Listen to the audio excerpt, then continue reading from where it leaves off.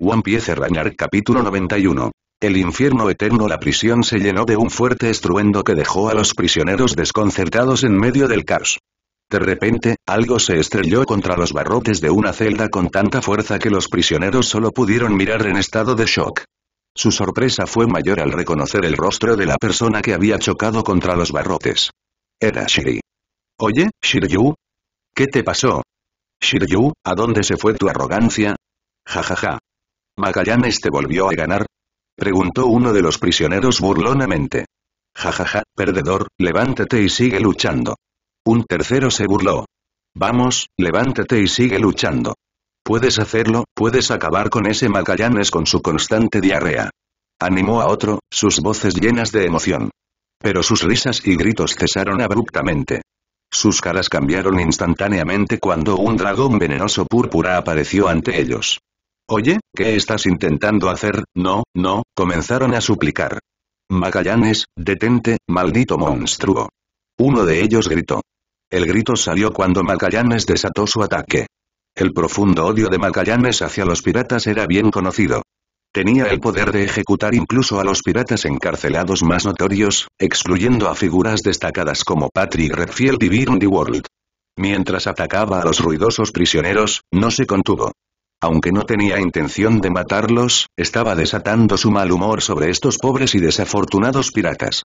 El dragón venenoso atravesó la celda como un maremoto, estrellando a los piratas contra las paredes.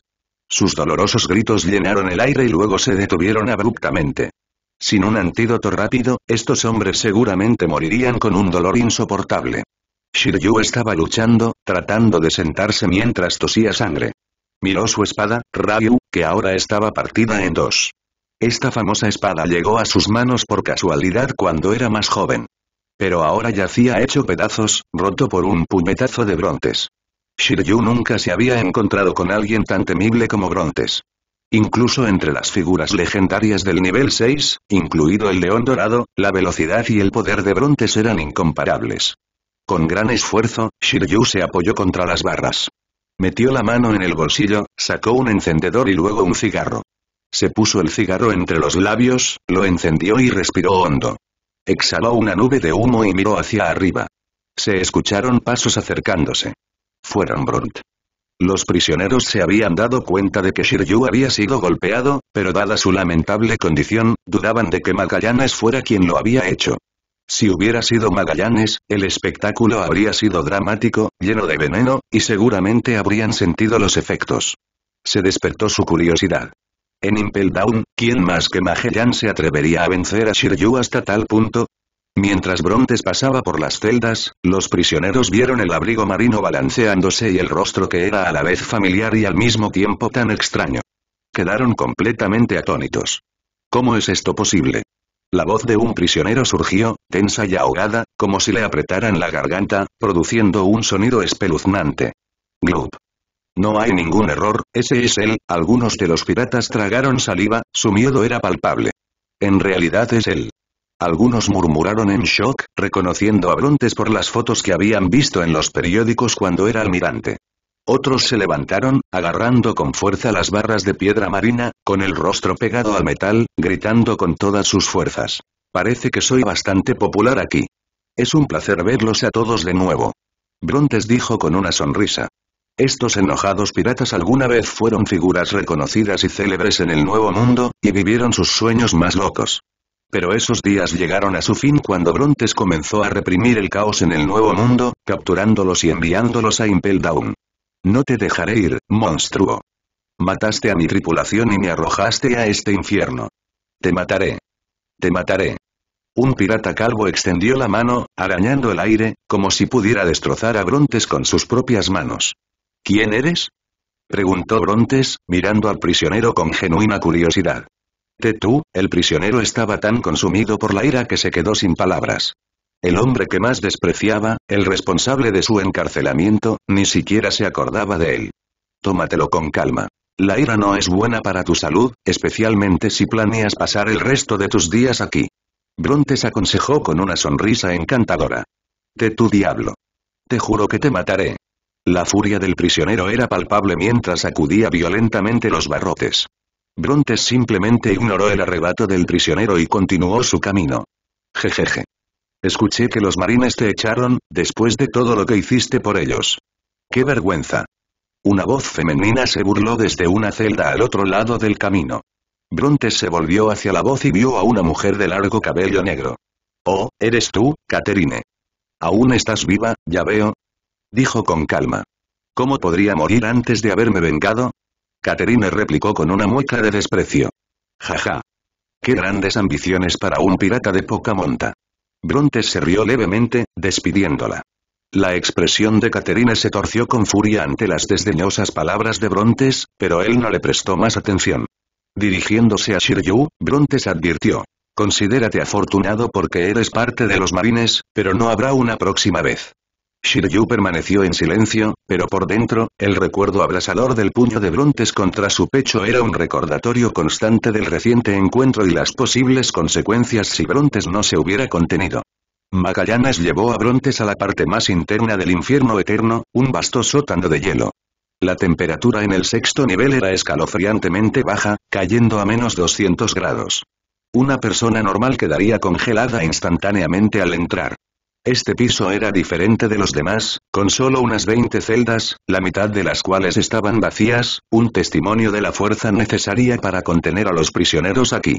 Los prisioneros fueron esposados y encadenados a las paredes dentro del sótano de hielo, con sus cuerpos encerrados en hielo. Los encarcelados aquí fueron condenados a muerte o cadena perpetua. Fueron efectivamente borrados de la historia.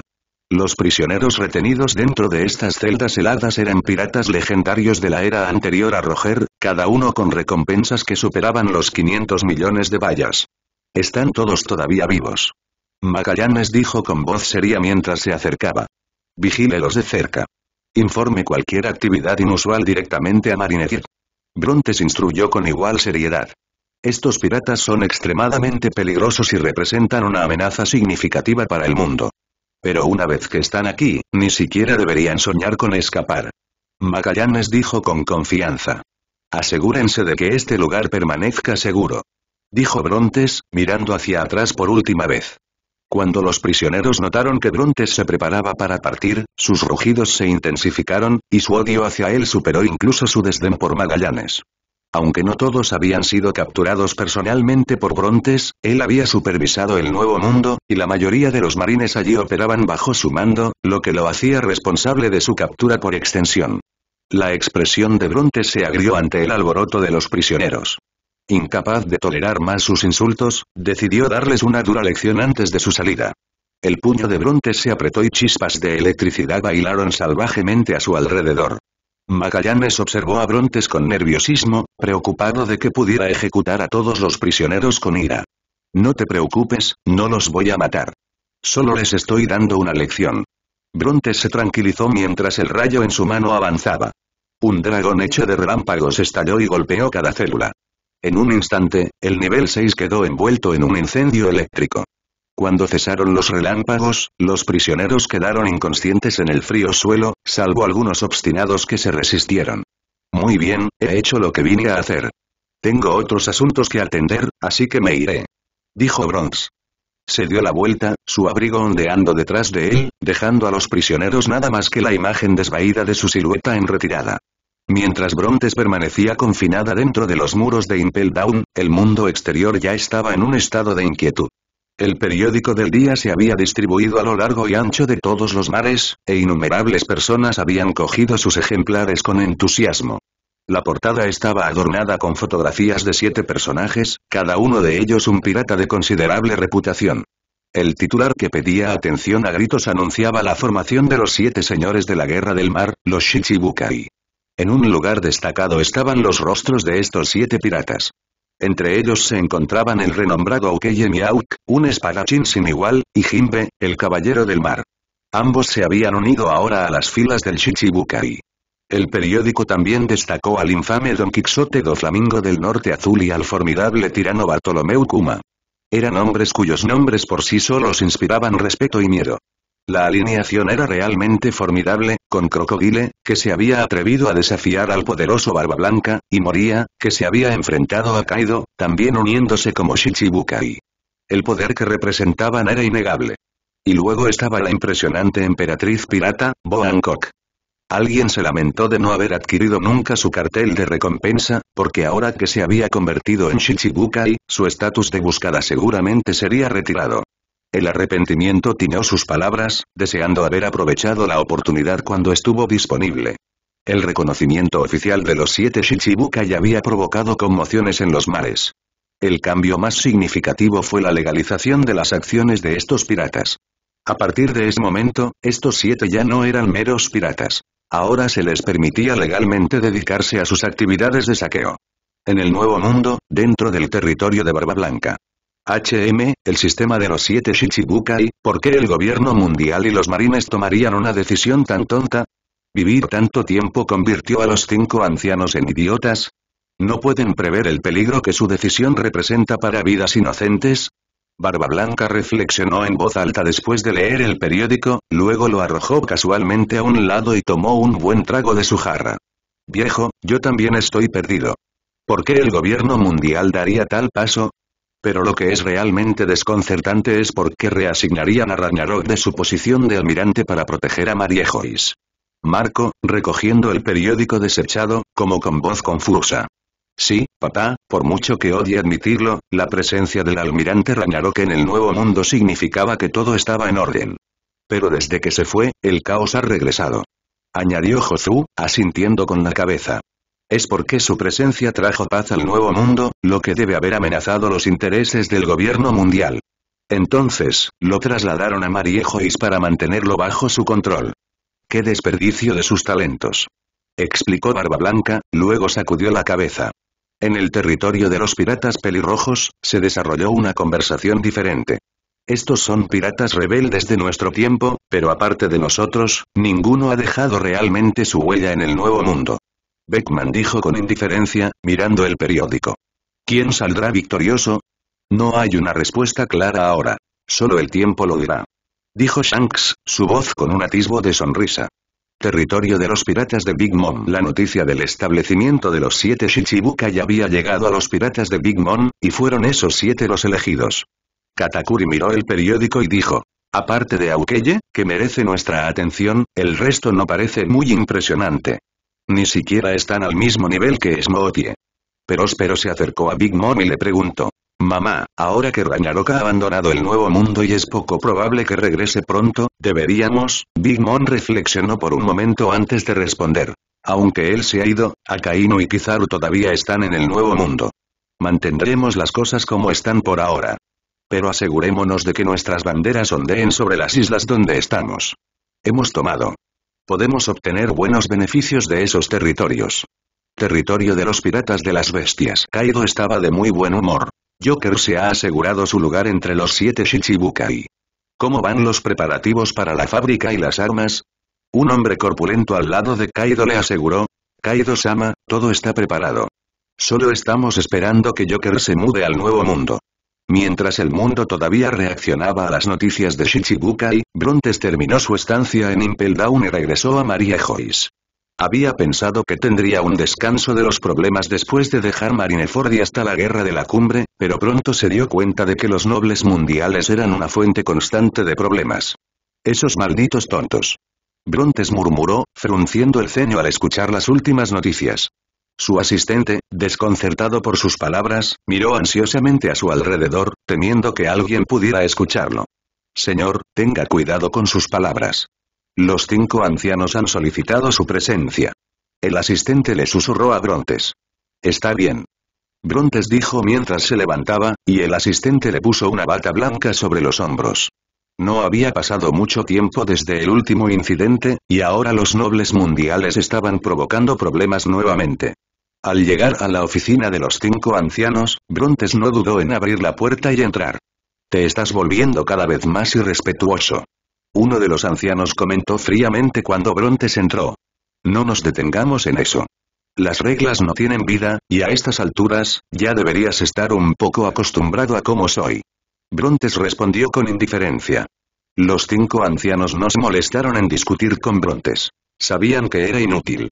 Podrían afirmar que los marines eran meros subordinados del gobierno mundial frente a otros marines, pero no frente a Brontes, especialmente aquí en Mariejois, donde enojarlo podría tener un final catastrófico. El anciano con sombrero habló. Saint Mujosgar dejó Mariejois en secreto, se dirigió al archipiélago Sabaody y desde allí partió hacia la isla Gyojin. Brontes frunció el ceño, claramente disgustada. Deberían quedarse quietos y ser sus propios testiferros. El mar no es lugar para sus juegos. Es suficiente, Brontes. Esto tiene que ver con la seguridad de un noble mundial. No puedes ser imprudente. Ve y mira si puedes interceptarlo. Con suerte, podrás llegar a la isla Gyojin a tiempo para garantizar su seguridad. Dijo el anciano de pelo largo y barba con severidad. Bien, yo me encargaré de ello. Pero esta es la última vez. Si se van solos otra vez sin informarme y pasa algo, no esperes que te ayude. No puedo ser responsable de salvarlos. Si van a ser imprudentes cada vez. Brontes dijo con firmeza. Lo entendemos. Hablaremos con los nobles mundiales y nos aseguraremos de que estés informado sobre sus movimientos. Los cinco ancianos estuvieron de acuerdo y aceptaron la solicitud de Brontes. Brontes miró en silencio a los cinco ancianos y luego pasó junto a su asistente. Sin detenerse, ordenó. Inicie el proceso de recubrimiento en un buque de guerra marino en el archipiélago de Sabaody. Necesitamos que se haga rápidamente. El arca Maxim no llegará a tiempo. Entendido, señor. El asistente respondió rápidamente y pasó a transmitir las órdenes a los marines estacionados en el archipiélago de Sabaody para que prepararan el buque de guerra para la partida. Una vez que Brontes abandonó la habitación, el silencio se apoderó de la oficina de los cinco ancianos. Fue el anciano calvo de gran barba quien finalmente rompió el silencio. Se está saliendo de control. Me preocupa que no podamos controlarlo en el futuro. Ha mostrado considerable moderación después de que lo sacamos de su puesto marino. A pesar de su comportamiento tranquilo, sospecho que alberga un profundo resentimiento hacia nosotros. Dijo el anciano de cabello rubio con una mueca de desprecio. El anciano del sombrero negro, pensativo, sacó a relucir otro punto. Lo que me intriga es la apariencia de Brontes. Tiene alrededor de 35 años, pero no se ve diferente de cuando tenía 25. Sí, es peculiar. Es como si el tiempo se hubiera detenido para él, al igual que para nosotros. El anciano de la espada estuvo de acuerdo, asintiendo. No, él no es como nosotros. Intervino el anciano barbudo y de pelo largo. Una señal de frustración apareció en sus rostros, el anciano con la espada dijo enojado. ¿En qué exactamente trabajaron él y Vegapunk en Pancazar? Maldita sea. Es irritante que solo Vegapunk y él sepan lo que pasó allí, especialmente después de que Brontes se hizo cargo. El SSG en ese momento. Se está volviendo más fuerte cada día. Es incluso más formidable que el mes pasado.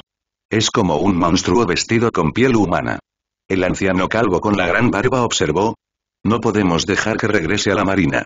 Es mejor que se quede aquí en Mariejois con el título de almirante de flota. Sugirió el anciano del sombrero negro. No debemos olvidar su influencia y su posición dentro de los marines. Añadió otro anciano. Esperemos que no actúe imprudentemente. Concluyeron. Sin que los cinco ancianos lo supieran, su conversación no permaneció privada.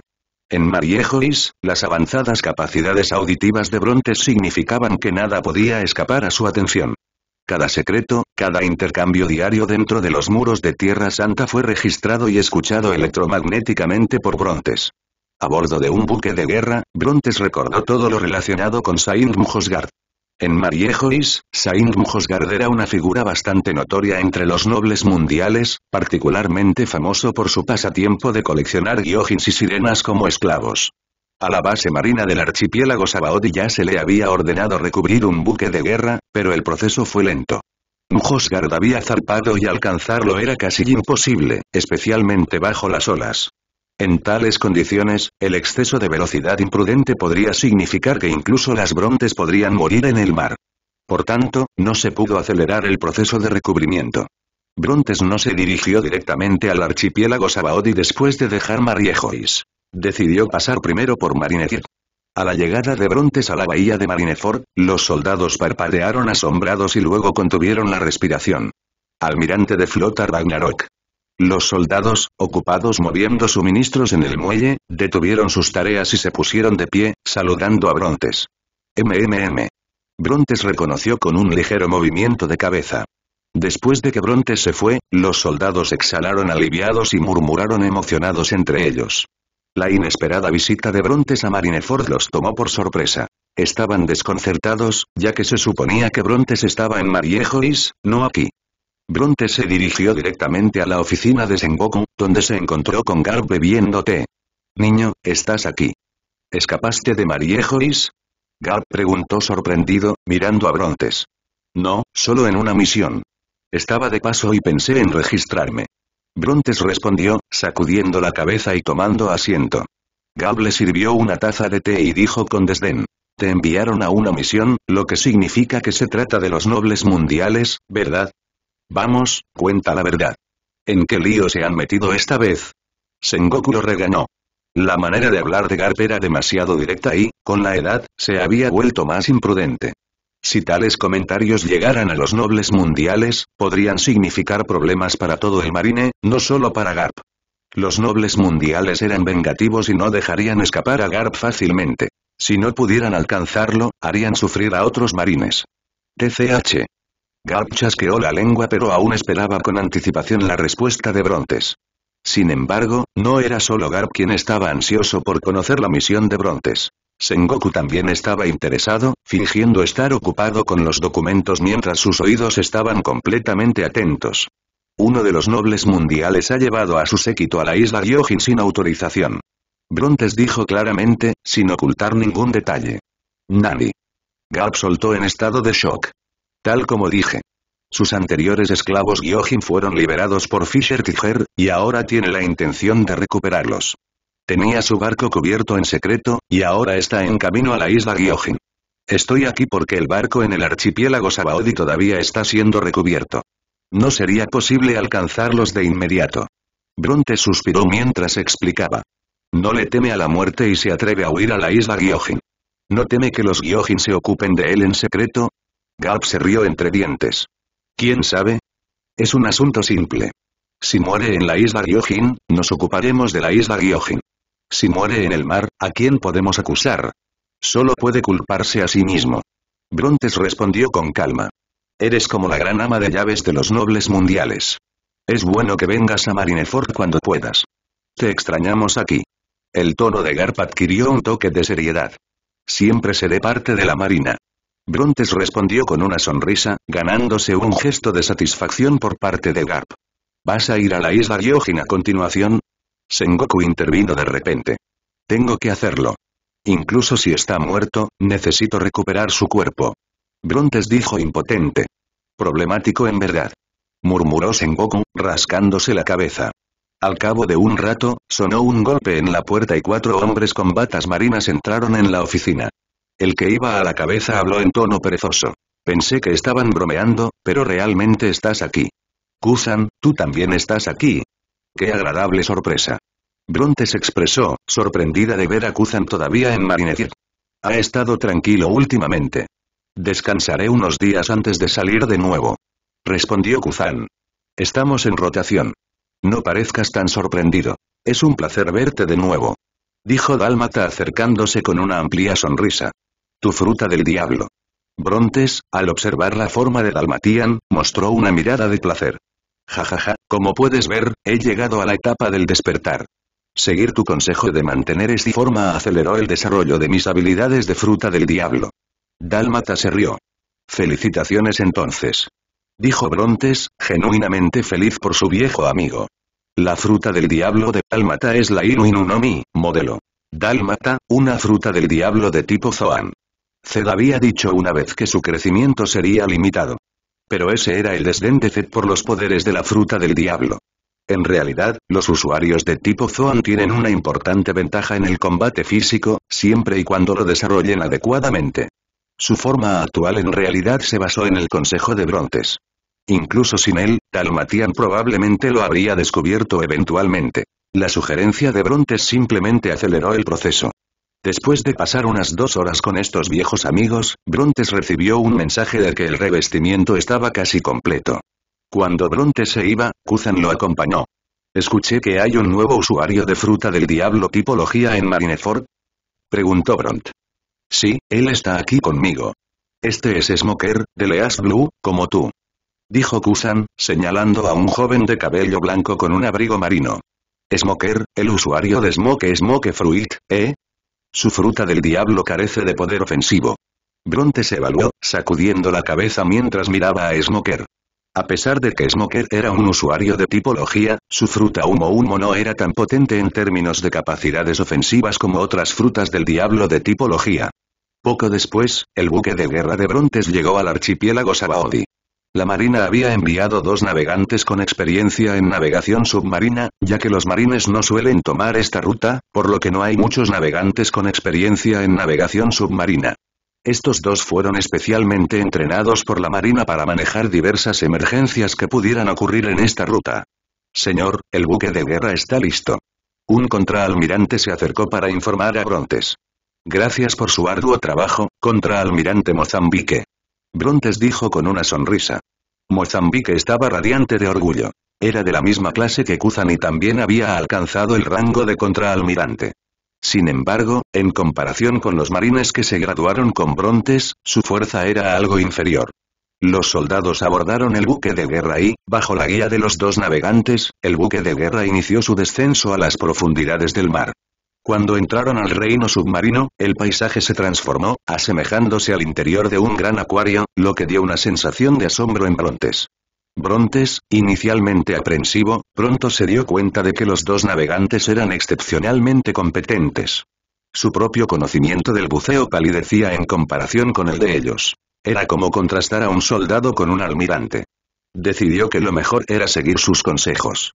La imprevisibilidad del entorno submarino pronto se hizo evidente cuando un pez gigante, no un Sea King sino una criatura marina considerable de nivel medio, apuntó a su barco. Rápido, gira el timón, tenemos que evitarlo. Uno de los navegantes instruyó. No hay necesidad. Brontes intervino con calma. Señor. El navegante se volvió hacia Brontes, con la confusión grabada en su rostro. Sin decirle una palabra, Brontes extendió su dedo índice, perforando la capa de burbujas del barco. El pinchazo fue diminuto, no suficiente para reventar la burbuja, permitiendo que su dedo se deslizara sin esfuerzo. Cuando Brontes tocó el agua, se mantuvo estoico. Un simple dedo en el agua ejercía poder, pero sumergir toda su mano sería un asunto completamente diferente. Los soldados presenciaron un repentino relámpago que los cegó momentáneamente con su intenso brillo. Cuando su visión se aclaró, Brontes ya había retraído su dedo. Mirando hacia el pez, lo vieron flotando inmóvil, panza arriba, paralizado por el impacto del rayo. El rayo no solo había aturdido al pez gigante sino que también había inmovilizado toda la vida marina de varios kilómetros del buque de guerra. Sigamos adelante, tenemos que llegar a la isla Gyojin lo antes posible. Ordenó Bront. Los dos navegantes, habiendo observado el método de Gruntes por primera vez, rápidamente reconocieron su orden y continuaron dirigiendo a los soldados sobre los procedimientos de buceo. Finalmente llegaron a la zona oscura del mar. Cuanto más profundizaban, menos luz había. El buque de guerra tuvo que encender sus reflectores para ver hacia dónde se dirigían, aunque las luces podrían atraer criaturas de las profundidades. Se las arreglaron para evitar la zona peligrosa alrededor de los volcanes submarinos y llegaron a la entrada de la isla Gyojin. Esta isla estaba en lo más profundo, a unos 10.000 metros bajo la superficie, en un enorme agujero que pasaba justo debajo de la línea roja en el fondo de una profunda fosa oceánica. Pero en la entrada se toparon con el tipo de problema que más asustó a los marines. Tres enormes Sea Kings custodiaban la primera entrada. Brontes los miró y su mente recordó lo que vio en el anime cuando el barco de Saint Mujosgard fue atacado por Sea Kings, y él fue el único sobreviviente. Recordó lo cerca que había estado de morir a manos de los Gyojin en la isla Gyojin, y cómo la reina Otoime tuvo que intervenir para salvarlo. Señor, están bloqueando nuestro camino. ¿Qué hacemos? Deberíamos regresar. Preguntó uno de los navegantes, con la voz un poco temblorosa por el miedo. No, continúa. Brontes respondió con voz firme. Los navegantes quedaron sorprendidos y un poco asustados, pero siguieron las órdenes de Brontes. A medida que el buque de guerra se acercaba, los Sea Kings se dieron cuenta y se prepararon para atacar. De repente, mientras los Sea Kings cargaban, fueron detenidos por una fuerza poderosa. Era como si una mano gigante invisible los detuviera. Estaban congelados, incapaces de hacer nada más que mirar cómo el buque de guerra pasaba audazmente junto a ellos. Cuando llegaron a la entrada, era como un enorme embudo que los atraía con gran fuerza. El barco se sacudió con fuerza. Gritó el navegante.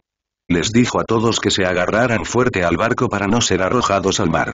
Todos, excepto Brontes, se agarraron a algo, listos para el duro viaje. Los Sea Kings se limitaron a observar cómo el barco partía. No eran muy inteligentes, pero podían sentir que había algo muy aterrador en ese barco. Después de que el buque de guerra atravesó la puerta, los Sea Kings parecieron pensar por un momento y luego decidieron irse. Cuando los soldados volvieron a mirar, vieron que todo a su alrededor estaba brillante. ¿Es esta la isla Gyojin? Se preguntó en voz alta el asistente de Brontes. Sí, hemos llegado a la isla Gyojin. Uno de los navegantes dijo, dando una explicación completa. La luz allí proviene del árbol de la luz del Soleva.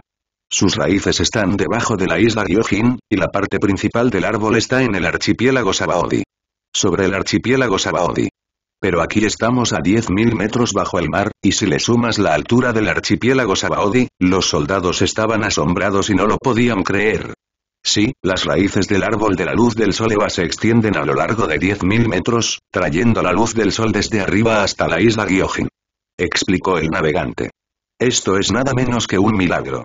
Dijeron los soldados marinos, llenos de asombro ante la explicación. Tenemos que pasar por la puerta. Si intentamos entrar desde cualquier otro lugar, la capa protectora del buque de guerra será arrancada por la enorme capa de burbujas alrededor de la isla.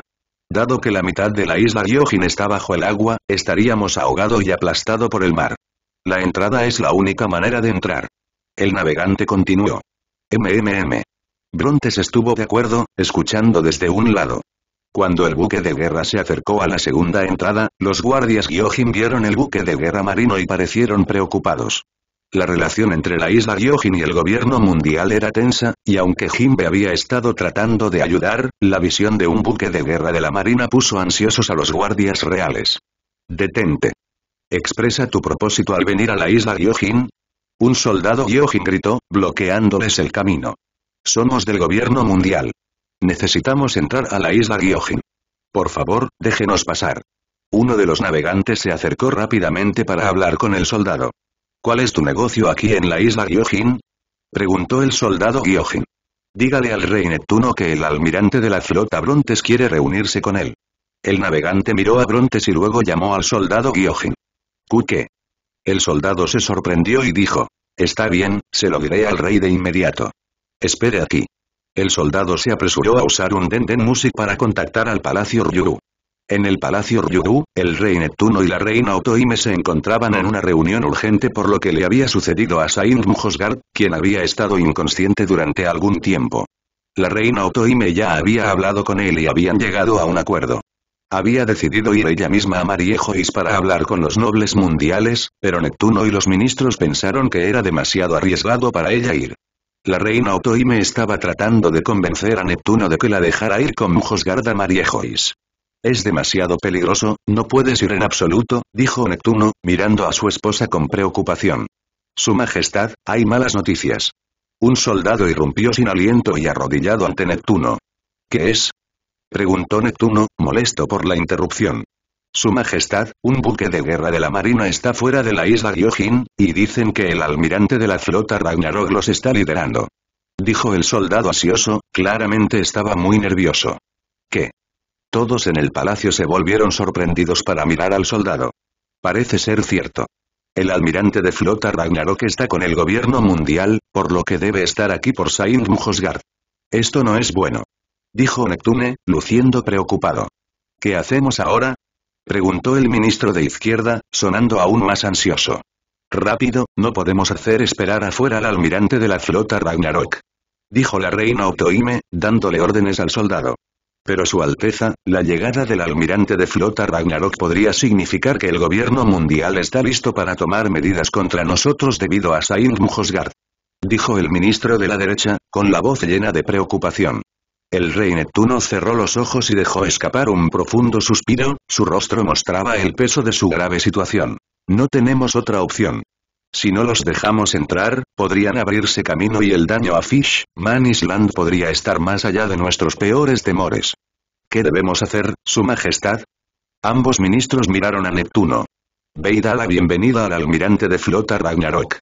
Nos reuniremos con él en el muelle. E informa a Jimbe. Está aquí en la isla. Como Shichibukai, podría tener alguna influencia en Ragnarok, Neptuno pensó por un momento antes de dar sus órdenes. Sí, su majestad, iré de inmediato. Respondió el ministro de derecha. Neptuno rápidamente organizó un grupo y partió con la reina Otoime y el gran caballero de la estrella tiburón lideraba el camino. El ministro correcto se apresuró al distrito Gyojin y encontró a Jimbe, el líder de los piratas del sol. La isla todavía estaba en crisis por la llegada de un noble mundial, la misma clase de gente que una vez los había esclavizado, y el deseo de venganza era fuerte. Jimbe, ¿has olvidado cómo murió nuestro capitán? Arlon miró a Jimbe, su voz estaba llena de ira. No he olvidado la muerte de Fisher Tiger, pero no podemos poner un dedo sobre Saint Mujosgard. Si lo hacemos, no habrá vuelta atrás para la isla Gyojin. Podríamos ser destruidos solo para apaciguar a los nobles mundiales. Jimbe respondió solemnemente. Eres un cobarde, Jimbe. Nada más que un cobarde. Arlon gritó enojado, sus ojos ardían de resentimiento. Mientras la discusión continuaba en el distrito Gyojin, llegó el ministro adecuado, sin aliento. Jimbe, hay un gran problema. El rey Neptuno te necesita en el muelle ahora mismo. La voz del ministro de la derecha era urgente y su rostro estaba marcado por el pánico. ¿Qué ha pasado? Jimbe se levantó alarmado. Los otros Gyojin observaron, desconcertados por la angustia del enviado del rey. Ha llegado el gobierno mundial, dirigido por el propio almirante de flota Ragnarok. El ministro de derecha le informó rápidamente. ¿Qué? El rostro de Jimbe mostró tanto shock como un rastro de alivio de que el noble mundial aún estuviera ileso. Almirante de la flota Ragnarok, ese hombre, Arlon recordó a Brontes del incidente en Impel Down, y la mención del almirante de la flota le hizo perder la compostura. Un comodoro de la marina lo había capturado fácilmente antes, y la idea de enfrentarse al almirante de la flota Ragnarok le hizo temer causar problemas. Vamos, no podemos hacer esperar a Brontes Dono. Instó Jimbe, sabiendo por encuentros pasados cuán despiadados podrían ser Brontes con sus enemigos. La isla Gyojin no podía arriesgarse a enemistarse con una figura tan poderosa. A medida que el buque de guerra se acercaba, cortando el agua, la mitad permaneció oculta bajo una capa especial, mientras que la otra mitad flotaba visiblemente sobre la superficie del mar cerca de la isla. Al llegar al muelle, Brontes vio desde lejos a un gran tritón parado al frente, con un anillo de burbujas rodeando su cintura. El barco extendió su escalera hasta el muelle y Brontes descendió con pasos tranquilos, seguido por dos ordenadas filas de soldados navales detrás de él. Bienvenido, almirante de flota Ragnarok, a la isla Gyojin. Dijo Neptuno, el rey de la isla, con voz respetuosa. Gracias por su cálida bienvenida, rey Neptuno. Brontes respondió mientras su mirada recorría la multitud de hombres peyotes reunidos, reconociéndolos por la historia del anime. ¿Está bien San Mujosgard? Preguntó Bront. Cuando Brontes preguntó sobre el estado de Mujosgard, la multitud guardó un tenso silencio. Hasta que una hermosa sirena surgió entre la multitud y aseguró a Brontes. Saint Mujosgard no está gravemente herido. Estará completamente curado en unos días. Eso es bueno. Ese tipo te causó muchos problemas. Considera esto como una lección para él. Una vez que se haya curado, lo aceptaré de regreso. Brontes asintió. Al escuchar las palabras de Brontes, todos los presentes quedaron atónitos, mirándolo con sorpresa, sin esperar tal declaración de su parte. La reina Otoime fue la primera en recuperarse, rápidamente asintió. Muy bien, haremos todo lo posible para que Saint Mujosgard se sienta cómodo mientras esté en nuestra hospitalidad. No necesitas preocuparte por él. No todos los nobles mundiales son irrazonables como Saint Mujosgard, había aquellos entre ellos que genuinamente deseaban mejorar la relación entre el gobierno mundial y la isla Gyojin. Esto fue ejemplificado por su decisión de ofrecer uno la posición de los siete Shichibuka y Ajimbe. Brontes explicó con calma. En realidad, la princesa Otoime exclamó sorprendida. Están conscientes de la situación en la isla Gyojin. Además, el gobierno mundial no imputará el incidente de Fisher Tiger a la isla. Mientras Mujosgard esté vivo y bien, no les importará el resto. Brontes dijo con desdén. Al comprender la situación, Neptune agradeció a Brontes desde el fondo de su corazón. Jimbe también llegó, luego extendieron una invitación a Brontes para disfrutar de la hospitalidad del Palacio Ryugu con un festín de sus mejores delicias. Teniendo en cuenta la recuperación en curso de Mujosgard, Brontes decidió extender su estadía en la isla Gyojin, planeando partir solo cuando Mujosgard estuviera completamente curado. Pasaron dos días, y Mujosgar despertó de su coma, furioso al enterarse de los hechos ocurridos, comenzó a gritar y gritar enojado a las sirvientas de la habitación. Muy rápidamente, muchos Gyojin se reunieron en la sala, incluidos Neptuno, la reina Otoime, Jinbe y muchos otros. ¿Cómo te atreves a atacarme? Gritó Mujosgar, con la mirada fija en Neptuno con una ira ardiente. Lo sentimos profundamente, comenzó Neptune, con la voz llena de arrepentimiento. Sin embargo, fue interrumpido antes de que pudiera terminar su disculpa. Malditos esclavos. Os arrepentiréis de esto. Gritó Mujosgar, su gordo cuerpo temblando de rabia. En medio de la creciente tensión, una voz tranquila de repente atravesó el caos. ¿Por qué haces tanto ruido? Estás perturbando mi paz matutina. Maldito esclavo. ¿Cómo te atreves a hablar con? La ira de Mujosgar estalló aún más. Pero cuando se volvió para enfrentar la fuente de la interrupción, su ira se congeló en shock y su rostro se puso pálido como si hubiera visto un fantasma. ¿Te tú, por qué estás aquí? Mujosgar tartamudeó, el sudor corría por su rostro mientras miraba a Brontes. Estoy aquí para ti. Si estás bien, regresaremos a María Joyce. No tengo tiempo para jugar contigo. Respondió Brontes, su tono era frío e indiferente. Ese sí, estoy bien. Mujosgard sintió rápidamente y respondió con voz un poco temblorosa. Mujosgard siempre había sabido que el gobierno mundial enviaría a alguien tras él, pero nunca esperó que fuera Brontes. Brontes era una figura muy conocida entre los nobles mundiales de Mariejois, y su llegada allí había despertado una mezcla de miedo y arrepentimiento entre ellos. Cuando Brontes llegó allí por primera vez, algunos arrogantes nobles mundiales querían obligarlo a aceptar sus órdenes, pero como sabían que Brontes no jugó como esperaban, sino que los aturdió directamente con su Aki de conquistador, aunque el uso de Aki por parte de Brontes no los dañó físicamente, dejó un profundo impacto psicológico, similar a la tortura mental. Eso pasó varias veces, al final los nobles mundiales comenzaron a evitar a Brontes y no se atrevieron a acercarse demasiado a él. Incluso los cinco ancianos estaban indefensos ante la actitud de Brontes hacia los nobles mundiales, ya que ya habían hecho enojar a Brontes con ellos al quitarle su puesto en la marina, si hacían algo más tenían miedo de cruzar por completo los resultados de Brontes. Mujosgard se había ido en secreto porque los movimientos de los nobles mundiales debían ser informados a Brontes. Si Brontes no estaba de acuerdo con sus salidas, ni siquiera podían dejar a Mariejois, independientemente de su estatus. Si intentaban abrirse camino, Brontes simplemente los derrotaría, e incluso con Kpo a su lado, sería inútil. Si Mujosgard tuviera que nombrar a la persona que más odiaba y temía, sería el almirante de flota Ragnarok. Discutiremos esto una vez que regresemos. Se suponía que visitarías el archipiélago Sabaody, no la isla Gyojin. Dijo Brontes, dándole a Mujosgard una mirada de reojo. Yo, solo quería ver el mar. No esperaba ser arrastrado hasta aquí por la corriente. Mujosgard respondió nerviosamente, intentando enmascarar sus verdaderas intenciones con una mentira. Guarda tus explicaciones para los cinco ancianos. Brontes dijo fríamente, luego se dio la vuelta, ignorándolo por completo. Los nobles mundiales son un grupo prestigioso formado por 19 familias, cada una dirigida por un jefe que representa los intereses de su familia y ejerce un poder significativo dentro del gobierno mundial. Entre ellos se encuentra San Rosward, patriarca de su familia y padre de San Carlos. Se destaca por finalmente tomar a Kuma como esclavo. La familia Don Quixote es otro actor clave en este círculo, encabezada por el padre de Mjosgard, que es hermano del padre de Doflamingo, lo que convierte a Mjosgard y Doflamingo en primos. Durante nueve siglos, los nobles mundiales han protegido ferozmente sus líneas de sangre, una práctica que, sin sus estrictas salvaguardias, probablemente habría llevado a una disminución en su número debido a las consecuencias de la endogamia, como la disminución de la inteligencia, evidente en individuos como Charlos y Mujosgard. Además de los 19 jefes de familia, está Brontes, que ocupa una posición de poder única. Tiene la autoridad para limitar las acciones de otros nobles mundiales a menos que el jefe de su familia solicite directamente su permiso. Pasaron dos días y Mujosgard se había recuperado por completo. Brontes había decidido que era hora de partir, y mientras se preparaban para partir, una gran multitud, incluida la princesa Otoime, se reunió para despedirse de ellos. Mujosgard subió al buque de guerra con aire de superioridad.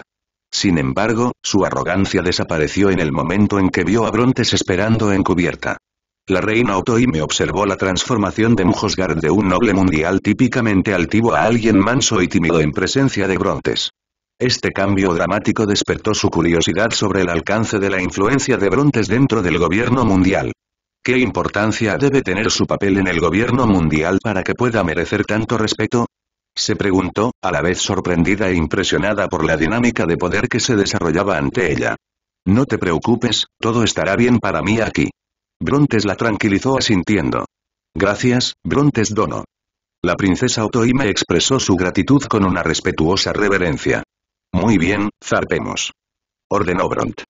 La razón por la que la reina Otoime estaba en el barco de guerra, uniéndose a ellos en su viaje, era que viajaba a Mariejois con ellos. Después de su partida de la isla Gyojin, el grupo, en lugar de regresar al archipiélago Sabaody, trazó un rumbo directo a Marineford y posteriormente a Mariejois. Mjosgard había prometido su apoyo a la reina Otoime en sus esfuerzos por salvar la antigua división entre la isla Gyojin y los nobles mundiales. Esta decisión estuvo bajo la fuerte influencia de su padre, un noble mundial que estaba entre los que abogaban por una postura más suave hacia los habitantes de la isla Gyojin. La historia entre los Gyojin y el resto del mundo ha estado plagada de prejuicios y malentendidos. Tras la formación del gobierno mundial, los Gyojin ni siquiera fueron reconocidos como humanos. Durante siglos, a lo largo de 700 años, fueron relegados al estado de meros peces, lo que llevó a casos en los que los humanos los cazaban para alimentarse. Un importante punto de inflexión se produjo hace aproximadamente 200 años cuando los Gyojin buscaron activamente convertirse en parte del gobierno mundial. Este movimiento ayudó a aliviar un poco la tensión entre las dos razas, marcando un paso adelante en su relación. A pesar de este progreso, y aunque los hombres Gyojin fueron reconocidos como parte de las naciones aliadas del gobierno mundial, continuaron enfrentándose a la exclusión de los diálogos internacionales críticos. En particular, nunca fueron invitados a participar en las conferencias mundiales celebradas en Mariejois. La reina Otoime, con un corazón tan vasto como el océano, albergaba el sueño de que algún día los hombres Gyojin podrían disfrutar del brillo del sol real, libres de las sombras del miedo y las cadenas de la esclavitud. Ella creía, con fe inquebrantable, que incluso en el corazón más oscuro existía un destello de bondad. Fue con esta esperanza que se embarcó en un peligroso viaje, con el objetivo de salvar el abismo de desconfianza entre su pueblo y los humanos sobre el mar. Su plan era audaz pero simple persuadir a los nobles mundiales para que respaldaran un tratado que aseguraría una coexistencia armoniosa entre las dos razas. Con la guía de Mjosgard, una figura de considerable influencia, la reina Otoime entró en la guarida de los leones. La opulenta, pero siniestra, residencia de los nobles mundiales. Este trascendental esfuerzo llamó la atención de los cinco ancianos, quienes vieron en el nombramiento de Jimbe como uno de los siete Shichibuka y una oportunidad para suavizar las tensiones de larga data. Para ellos, la paz con la isla Gyojin no fue solo una victoria diplomática. Era un paso necesario para mantener el delicado equilibrio del mundo. Ellos también prestaron su apoyo a la causa de la reina Otoime, con la esperanza de cimentar el tratado. Sin embargo, el camino hacia la paz estuvo plagado de obstáculos. Entre los nobles mundiales, existía una facción que se deleitaba con la cruel tradición de la esclavitud, viendo a las cautivadoras sirenas como nada más que trofeos para adornar sus grotescas colecciones. Al frente a tal oposición estaba San Rosward, un hombre cuyo corazón era tan frío como las profundidades del mar más oscuro. Reunió a aquellos que albergaban resentimiento por agravios pasados, en particular la devastación provocada por Fisher Tiger, para oponerse a cualquier noción de igualdad y libertad para los Gyojin. A pesar de la abrumadora resistencia, los esfuerzos de Mjosgard, combinados con la elocuencia persuasiva de la reina Otoime, comenzaron a cambiar el rumbo. Poco a poco, las familias que alguna vez se mantuvieron indecisas comenzaron a cambiar su posición. Estas familias, aunque pocas, fueron fundamentales para inclinar la balanza hacia la reina Otoime. Sin embargo, la realidad seguía siendo que una parte sustancial de los nobles mundiales estaban cegados por su privilegio y crueldad, considerando a los Gyojin como meros juguetes en lugar de seres sintientes. Esta intolerancia profundamente arraigada planteó un obstáculo importante. En este momento crítico, los cinco ancianos surgieron inesperadamente apoyando la causa de la reina Otoime. Con su respaldo, los nobles disidentes se vieron acorralados, obligados a inclinarse ante un poder incluso mayor que su propia arrogancia. Esta victoria, sin embargo, no estuvo exenta de sombras. San Rosuard y sus seguidores, aunque momentáneamente sometidos, conspiraron en la oscuridad. Su plan era siniestro. Un asesinato de la reina Otoime, ejecutado con tal astucia que dejaría a los cinco ancianos impotentes para tomar represalias. Al repartir la culpa entre varias familias, pretendían crear un escudo intocable de complicidad, garantizando que ninguna entidad pudiera rendir cuentas. Los agentes del CP0, peones de los nobles mundiales, se pusieron en movimiento y su lealtad a sus amos prevaleció sobre cualquier obligación moral o jerárquica. Incluso Brontes, que tenía autoridad nominal sobre ellos, solo pudo observar cómo se desarrollaba el oscuro plan, un testimonio de la retorcida dinámica de poder que gobernaba el gobierno mundial. Por la noche, los operativos del CP0 se encontraban en movimiento cuando se toparon con agentes de la familia Don Quijote. Esto provocó un enfrentamiento secreto, pero Brontes lo sabía todo. Mjosgard se enfrentó audazmente a Saint Rosuard en su casa, cuestionando sus motivos. ¿Cuál es tu plan, San Rosward? Preguntó Mjosgard, claramente molesto por el ataque. Rosward, con una mueca de desprecio, respondió. En el momento en que esa maldita sirena muere, toda esta charla sobre la paz muere con ella. Los hombres Gyojin no son más que monstruos, debajo de nosotros, destinados a ser esclavizados. Los nobles mundiales la respaldan. Pronto, la isla Gyojin se unirá al gobierno mundial. Mjosgard respondió. Eso es si logra pasar esta noche. Rosuard replicó fríamente, su intención de matar a la reina Otoime era escalofriantemente clara. Jaja. ¿Crees que puedes matarla? Puede que mis hombres no te detengan, pero tú no pondrás un dedo sobre la reina Otoime. Mjosgard se burló. Rosuard se burló a cambio. ¿Oh? ¿Ella es más fuerte que nuestros agentes del CP0? Entonces, una voz desde la puerta interrumpió porque prometí mantenerla a salvo antes de que abandonara la isla Gyojin. Oms. Sorprendidos, Rosuard y sus subordinados estaban nerviosos. Ha sido un tiempo. Dijo Brontes, entrando a la habitación con una sonrisa de confianza. Rosuard maldijo en voz baja. Podría ignorar a todos los nobles mundiales en Merigeoise, incluidos los cinco ancianos, e ir directamente a asesinar a la reina Otoime. Pero Brontes era diferente, a diferencia de otros marines, no seguiría sus órdenes solo por ser un noble mundial, ni siquiera los cinco ancianos pueden obligarlo a hacerlo, porque saben que las consecuencias serían catastróficas para ellos. Al mirar el rostro sonriente de Brontes, los ojos de Rosuard se llenaron de odio. Fue debido a la presencia de Brontes que los nobles mundiales comenzaron a considerar sus acciones antes que Brontes, de lo contrario Brontes simplemente los noquearía usando el Aki del Conquistador. Rosuard fue uno de los nobles mundiales que exigió que Brontes les sirviera y protegiera su seguridad. Ahora, innumerables nobles mundiales odian a Brontes hasta la médula, y odiaron aún más a Rosuard y a los cinco ancianos por traer a Brontes a María Joyce. Brontes, esto no tiene nada que ver contigo, ¿verdad? Este es un asunto interno. Eres un extraño, ¿por qué quieres entrometerte en este asunto? Rosuard espetó. Prometí proteger a la reina Otoime. Mientras ella esté aquí, estará bajo mi protección. Si alguien le hace daño, no me quedaré al margen. Brontes dijo con una sonrisa confiada. Esta es mi advertencia.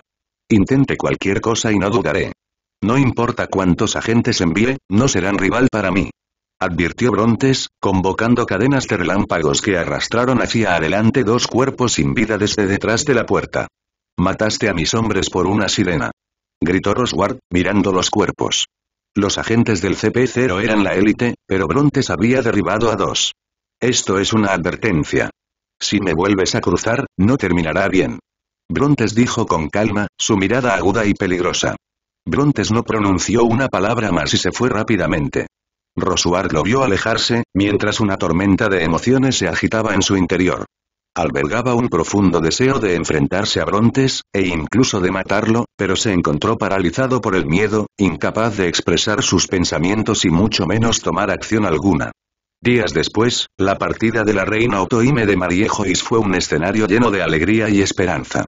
Su rostro estaba iluminado de felicidad mientras un contingente de soldados marinos la escoltaba de regreso a la isla Gyojin. Jimbe, que había estado esperando ansiosamente en Marineford durante varios días, se sintió aliviado al ver a la reina Otoime regresar sana y salva. La noticia de que el gobierno mundial había aceptado su propuesta lo llenó de una inmensa alegría, un sentimiento que compartió con los piratas del sol mientras acompañaban a la reina Otoime de regreso a la isla Gyojin. Sin embargo, su viaje de regreso se vio empañado por la tragedia.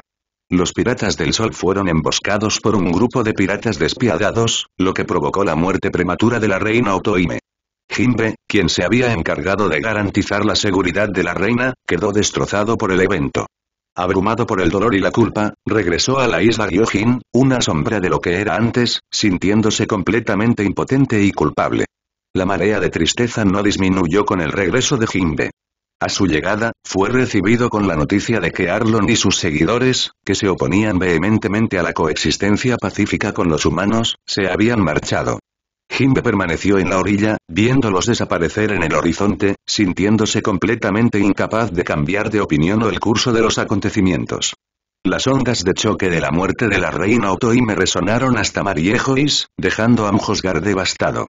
Había volcado su corazón y su alma en fomentar la paz entre los humanos y los habitantes de la isla Ryojin, y la noticia de la muerte de la reina, especialmente a manos humanas, se sintió como una traición cruel. El incidente reavivó las llamas del odio entre los ciudadanos de la isla Gyojin hacia los humanos, proyectando una larga sombra sobre las perspectivas de paz. En su búsqueda de respuestas, Mjosgard enfrentó a Brontes, su frustración se desbordó. ¿Por qué? ¿Por qué tuvieron que matar a la reina Otoime? ¿Fue ese cobarde Roswart? Preguntó, su voz llena de ira. No sé sobre eso. Pero no creo que Roswart tenga el coraje de hacer tal cosa. El acuerdo aún está en curso y he oído que los hijos de la reina Otoime todavía están trabajando duro, así que no deberías hacerlo. Rendirse tampoco. Brontes dijo con voz tranquila. Trabajé tan duro. Maldita sea. Maldita sea. Mjosgar gritó enojado. La partida de Mjosgar dejó a Brontes con una sensación de inquietud. Aunque él mismo no había presenciado los acontecimientos, sus agudos sentidos insinuaban una agitación más profunda. El incidente se había intensificado rápidamente, con Mujosgar irrumpiendo en la residencia de Saint Rosward, causando tal conmoción que requirió la intervención de los cinco ancianos para sofocarlo. La vida en Mariejois transcurrió sin incidentes para Brontes, ya que los problemas menores del mundo no merecían su atención y podían ser manejados por sus subordinados o el CP0. Sin embargo, después de la muerte de la reina Otoime, ocurrió un incidente importante que enfureció a Brontes. ¿Cómo pudieron permitir que ocurriera tal incidente? Brontes dijo furiosamente al escuchar la noticia. Pero, señor, los cinco ancianos han decidido no tomar medidas sobre este asunto. Informó un capitán de marina con voz temblorosa. Me reuniré con los cinco ancianos y veré qué tienen que decir. Dijo Brontes, poniéndose el abrigo y dirigiéndose directamente a la oficina de los cinco ancianos. Brontes entró directamente en la habitación, ignorando las formalidades habituales. Los cinco ancianos ni siquiera intentaron regañarlo por eso. Ya estaban acostumbrados a sus costumbres. Además, pensaron que aparecería tarde o temprano después de escuchar las últimas noticias del Nuevo Mundo. ¿Por qué no pusieron fin a esta tontería? Brontes soltó tan pronto como entró. Brontes, todos estuvimos de acuerdo en esto. Hay información por ahí que realmente podría perjudicarnos si sale a la luz. No solo estamos en juego nosotros, sino también el marine. Uno de los ancianos explicó. El arma antigua secreta, ¿verdad? Dijo Brontes, tomándose un momento para recomponerse. Exactamente. Ya conoces la situación. Si Doflamingo revela lo que sabe, todos estaremos en serios problemas. Y, francamente, un pequeño reino como Dressrosa no pesa mucho en nuestras decisiones. Los ancianos lo expusieron claramente. Pero Dressrosa no es parte del gobierno mundial, señaló Bronx. Es precisamente por eso que necesitamos que vayas allí. No necesariamente para lidiar con este lío, sino para hacer una declaración y advertir a Don Flamingo que no difunda esta información a nadie. El anciano calvo intervino, con su espada apoyada a su lado. ¿Solo una advertencia? Eso es absurdo. Bronte se burló, su sonrisa llena de desdén. Mientras se mantenga el equilibrio, esa es nuestra principal preocupación.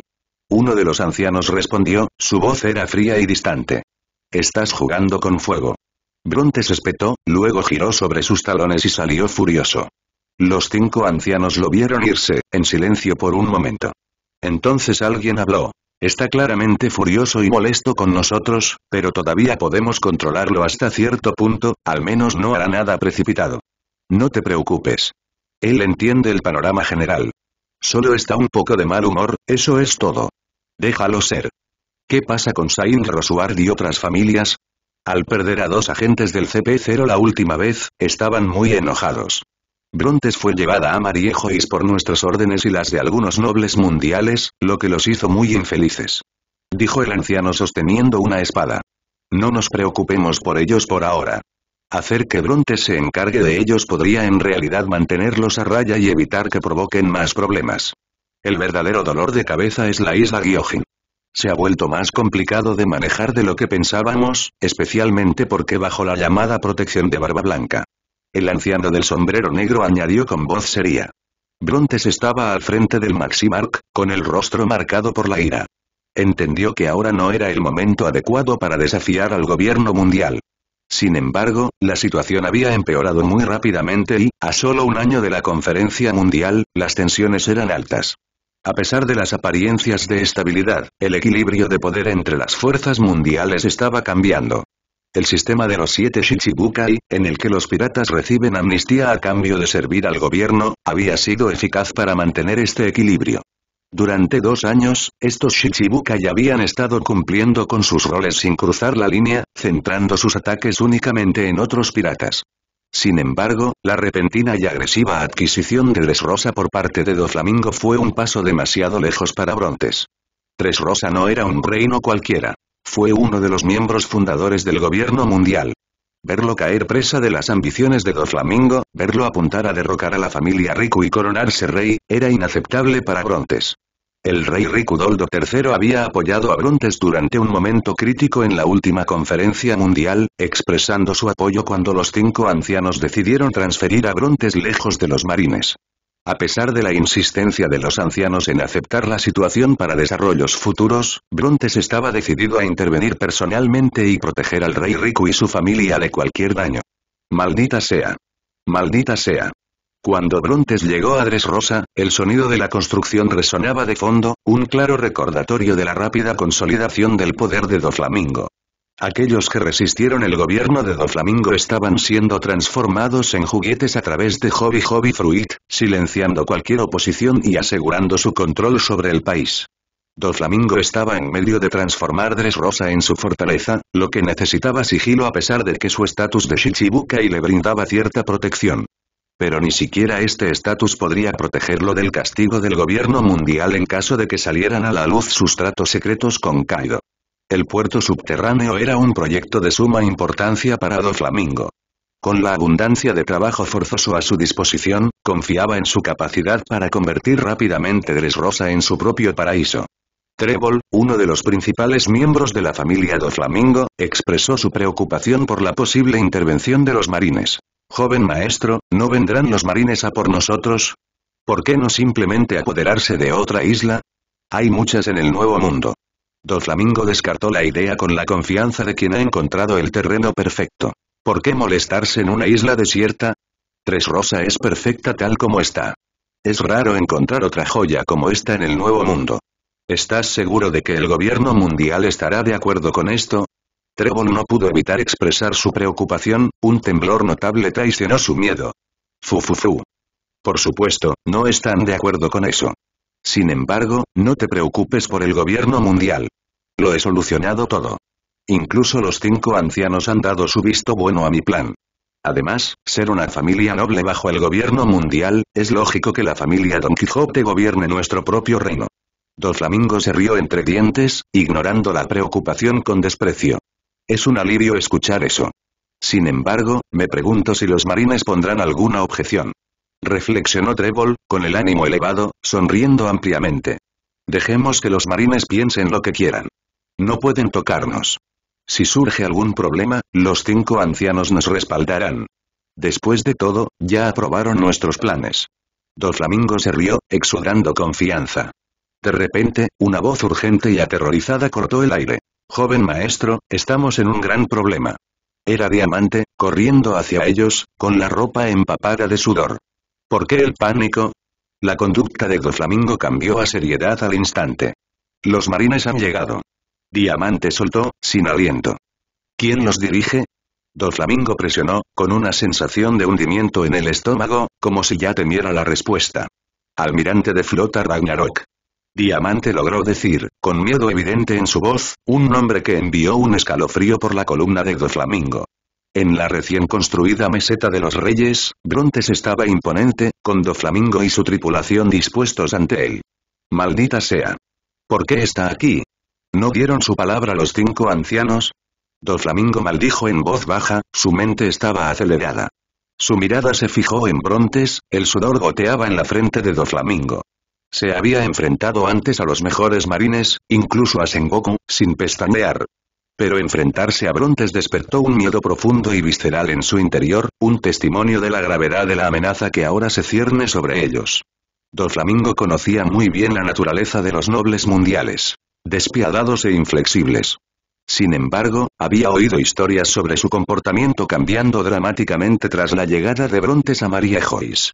Estos feroces individuos se habían sometido y ya no buscaban el conflicto, una clara señal de la influencia incomparable de Brontes, superando incluso la de los cinco ancianos entre los nobles mundiales. Cuando la mirada de Brontes, llena de inconfundible ira, se fijó en Doflamingo, el aire pareció espesarse. ¿Quién te dio la audacia de desafiar nuestro acuerdo? Preguntó, su voz fría atravesó la tensión. El sudor corría por el rostro de Doflamingo y su tripulación estaba en un estado similar, su ansiedad era palpable. El hombre que tenían ante ellos había causado un impacto tan profundo que estaban seguros de que los perseguiría para siempre. A pesar de su formidable reputación y el estatus de Doflamingo como uno de los siete Shichibukai, la presencia de Brontes los abrumaba, un miedo asfixiante se apoderaba de sus corazones y les dificultaba incluso respirar. Sin embargo, en medio de la presión abrumadora, Doflamingo dejó escapar una risa fuerte y desafiante. Fufufu. No te debo explicaciones. Mis acciones son el resultado de discusiones con los cinco ancianos. Ellos han dado su consentimiento. Dijo Doflamingo en voz alta, tratando de enmascarar su miedo con bravuconería, enfrentando a Brontes con una confianza forzada que contradecía el temor que sentía. ¿Recuerdas lo que te advertí cuando te uniste a los siete Shichibukai? Rompe nuestro trato y yo iré a por ti. Brontes le dijo con un tono helado a Doflamingo. Tres Rosa está bajo el ala del gobierno mundial, y al meterse con él, has cruzado una línea que trazamos en la arena.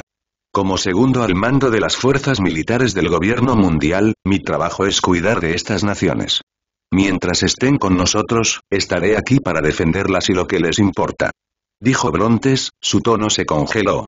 Doflamingo sintió el sudor pero apretó los dientes, tratando de discutir. Pero Dressrosa una vez, tu pasado, la historia de tu familia, es irrelevante ahora. Todo lo que tienes es un apellido. Francamente, me sorprende que todavía te aferres a esa identidad. Brontes lo interrumpió, sin mostrar interés en excusas. Doflamingo estaba atrapado. Ya no formaba parte de la familia Don Quijote, su apellido era todo lo que le quedaba, por lo que cualquier extracción del nombre de su familia era inútil. Y contra una Brontes enojada, incluso el jefe de la familia Don Quijote sentiría la presión, y mucho menos Do Flamingo, quien fue dejado de lado por ellos. Ante la actitud fría de Brontes, Do Flamingo sintió una punzada de arrepentimiento por haber elegido Dressrosa. Sin embargo, impulsado por la ambición, se mantuvo firme. Los cinco ancianos y los nobles mundiales han dado su visto bueno. No puedes intervenir. Además, no he arruinado Dressrosa. Simplemente he tomado el trono. Sigue siendo parte del círculo del gobierno mundial. ¿Qué pasa con el rey Riku? ¿Está muerto? Preguntó Bront. Yo no lo maté. Dressrosa es uno de los países fundadores del gobierno mundial. La familia Rico ha estado a cargo durante años, por lo que el gobierno mundial no me dejaría tocarlo incluso si quisiera, dijo Do Flamingo abiertamente. Sabiendo que no debía ocultar nada a Brontes. Estaba consciente de que si Brontes decidía profundizar más, la verdad saldría a la luz más temprano que tarde. Los cinco ancianos se han puesto de tu lado, así que me retiraré. Pero no tendrás voz y voto sobre el papel de Dressrosa en el gobierno mundial. En resumen, serás el rey en la sombra de Dressrosa, mientras que Ricudoldo III sigue siendo la cara del reino. Brontes concluyó después de pensarlo un momento. Se dio cuenta de que no podía alterar el destino de Dressrosa, pero eligió este camino para disminuir el poder de Doflamingo, ofreciendo a la familia Riku un rayo de esperanza. Aunque sentía algo por el rey Riku, sus manos estaban atadas por el veredicto del gobierno mundial. Esta era la única manera que tenía Brontes de proteger a la familia Riku. Brontes hizo lo que pudo por Dressrosa, pero a veces, cuando se enfrentaba a decisiones importantes, se vio obligado a ceder. De lo contrario, Gard no habría seguido siendo vicealmirante a pesar de sus años de servicio a la infantería de marina. El reino de Secaral ha caído. Brontes quedó en shock al escuchar la noticia. El reino de Secaral, que alguna vez estuvo débilmente vinculado al gobierno mundial, hace mucho que se separó debido a la incapacidad de pagar el tributo celestial requerido en medio del caos interno y las incursiones piratas. Su caída parecía inevitable, pero su rápido colapso tomó a todos por sorpresa. Los habitantes huyeron de las interminables batallas, dejando la isla vacía. Luego, nuevos y extraños monstruos la reclamaron. Un capitán de marina se presentó ante Brontes en su oficina de Mariejois. ¿Nuevos monstruos? ¿De qué tipo? Brontes preguntó, desconcertada. Monos armados con notables habilidades de combate. Respondió el capitán. Podría ser, un pensamiento pasó por la mente de Brontes. No mucho después, Miaut solicitó la isla para sí mismo, planeando establecer su residencia allí. Para ser una isla deshabitada, Brontes no vio ninguna razón para negarle a Miaut como lo había hecho con Doflamingo. Por lo tanto, fácilmente se lo concedió al espadachín. Sin embargo, con respecto a la repentina aniquilación del reino de Secaral, Brontes aún así fue a ver a los cinco ancianos. La aniquilación del reino de Secaral de hecho tiene algunos secretos. Respondió uno de los cinco ancianos. ¿Hasta qué punto? Preguntó Bront. El pueblo se rebeló, sí. Pero fue la muerte inesperada del rey y el posterior vacío de poder lo que condujo principalmente a su caída. Otros factores jugaron un papel menor. Los ancianos explicaron. ¿Qué pasa con el ejército revolucionario? ¿Alguna acción reciente? Preguntó el anciano con sombrero negro. No tengo nada todavía, pero estoy vigilando a Dragón. Sus operaciones se están extendiendo. Afirmó Bronx. El dragón es un factor inestable. Una vez que descubras su paradero, esperamos que puedas tomar medidas personalmente para eliminarlo. Dijeron los cinco ancianos con cara severa. Entiendo. No hay necesidad de más palabras. Brontes asintió con calma. En cuanto a la isla, dejar que Miauk se quede con ella está bien. De todos modos, ahora está desierta. Los ancianos concluyeron. Después de discutir otros asuntos, Brontes se fue, reflexionando sobre el misterio de Secaral. Parecía cada vez más probable que el ejército revolucionario desempeñara un papel en su desaparición. Su reciente repunte de la actividad había dejado huellas en todo el mundo, pero sus filas dispersas los hacían difíciles de alcanzar. Libraron una guerra de guerrillas contra el gobierno mundial y los marines, y su líder, Dragón, resultó más esquivo y amenazador que incluso los cuatro emperadores. Ese año sucedió algo enorme. Cuando Bronte se enteró, se puso de pie de un salto, totalmente sorprendido. Su reacción fue tan fuerte que incluso Cobb y los cinco ancianos de al lado la sintieron. Todos quedaron desconcertados por el repentino estallido del Lucky Concourse de Brontes que pareció sacudir la habitación. Brontes. Com entrecerró los ojos y apretó los puños, preparado para lo que vendría después. Los cinco ancianos fueron tomados con la guardia baja por un momento, pero luego se recuperaron. Necesitamos mantener esto en secreto. Luego continuó. No podemos simplemente entrar en acción sin pensar. Ni siquiera estamos seguros de si están conectados o no. Uno de ellos añadió. Pero por ahora, debemos evitar que Brontes haga algo imprudente y mantener la calma, especialmente con los marines. Las cosas estaban tensas.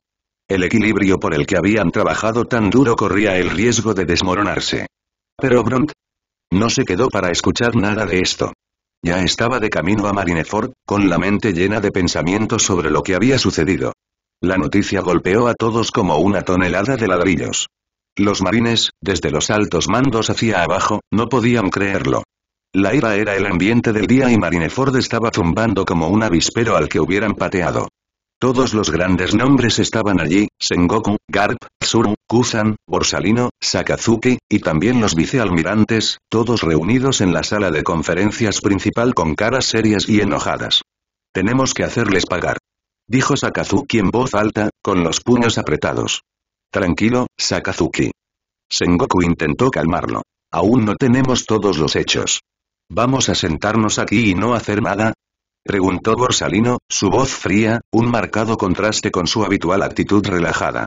Kuzan permaneció en silencio, pero el frío en el aire decía todo lo que había que decir sobre su estado de ánimo. Dejen de echar leña al fuego. Regresen a sus puestos. Al salir de su puesto sin permiso, ¿quieren desobedecer una orden directa? Regresen todos. Lo habéis visto, no morirá. Dijo Sengoku con voz seria. Pero ¿qué pasa con Zed? Ese maldito pirata mató a la mayoría de los pasantes e incluso le cortó el brazo al instructor Zed, dijo un vicealmirante con voz enojada. El incidente con Zed fue demasiado repentino y no podemos estar seguros de la relación de ese tipo con Barba Blanca, por lo que todos deben calmarse. No podemos comenzar una guerra con Barba Blanca ahora. Dijo Sengoku mientras sacudía la cabeza con impotencia. Entonces, ¿se supone que debemos dejar pasar esto? Sakazuki no podía creerlo. ¿Qué pasa con nuestro honor y dignidad? Kusan, sorprendentemente, estuvo de acuerdo con él. Zed fue un mentor y maestro para casi todos en la sala, excepto para Garp, Sengoku, Tsuru y algunos antiguos vicealmirantes. No es necesario que esté demasiado ansioso. Esta no es la decisión final todavía y no puede intervenir en este asunto. La persona que debería actuar probablemente esté a punto de llegar. Tsuru dijo suspiró y dijo suavemente. Oh, Brontes va a regresar. Cierto, como el estudiante más orgulloso de Fed, sería impensable que no viniera, Borsalino no había terminado de hablar cuando. De repente, un rayo atravesó el cielo, golpeó la sala de conferencias y reveló a Brontes en una entrada dramática. Él está aquí. Borsalino murmuró en voz baja. Almirante de flota Brontes. Sabía que aparecería inmediatamente después de escuchar la noticia. Comentó Borsalino, con la mirada fija en el hombre en el centro de la sala de conferencias. Ahí viene. Sakazuki y Kuzan susurraron juntos. Almirante de flota Brontes. Todos en la sala dejaron escapar un sonido de sorpresa cuando apareció Brontes. No es que no lo hubieran esperado. Simplemente no habían imaginado que irrumpiría en la sala de conferencias de una manera tan tormentosa. ¿Qué pasó?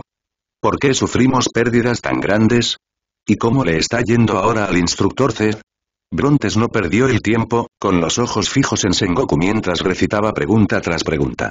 Aparte de sus amigos cercanos y algunos como Kusan, el resto de la sala contuvo la respiración bajo la intensa presencia de Brontes. Su aura de mando era francamente aterradora, haciéndolo sentir como si un tirano hubiera caminado entre ellos. Sengoku exhaló. Se había preparado para la llegada de Brontes, pero no esperaba que llegara tan rápido. El barco del pasante fue atacado por un pirata en el Nuevo Mundo. Todo sucedió en medio de una tormenta, y cuando llegaron los refuerzos, el pirata había desaparecido. La vida de Zed no está en peligro, pero perdió su brazo derecho. Casi todos los pasantes de este trimestre se perdieron, excepto dos, Aim y Vince. El resto, no lo lograron.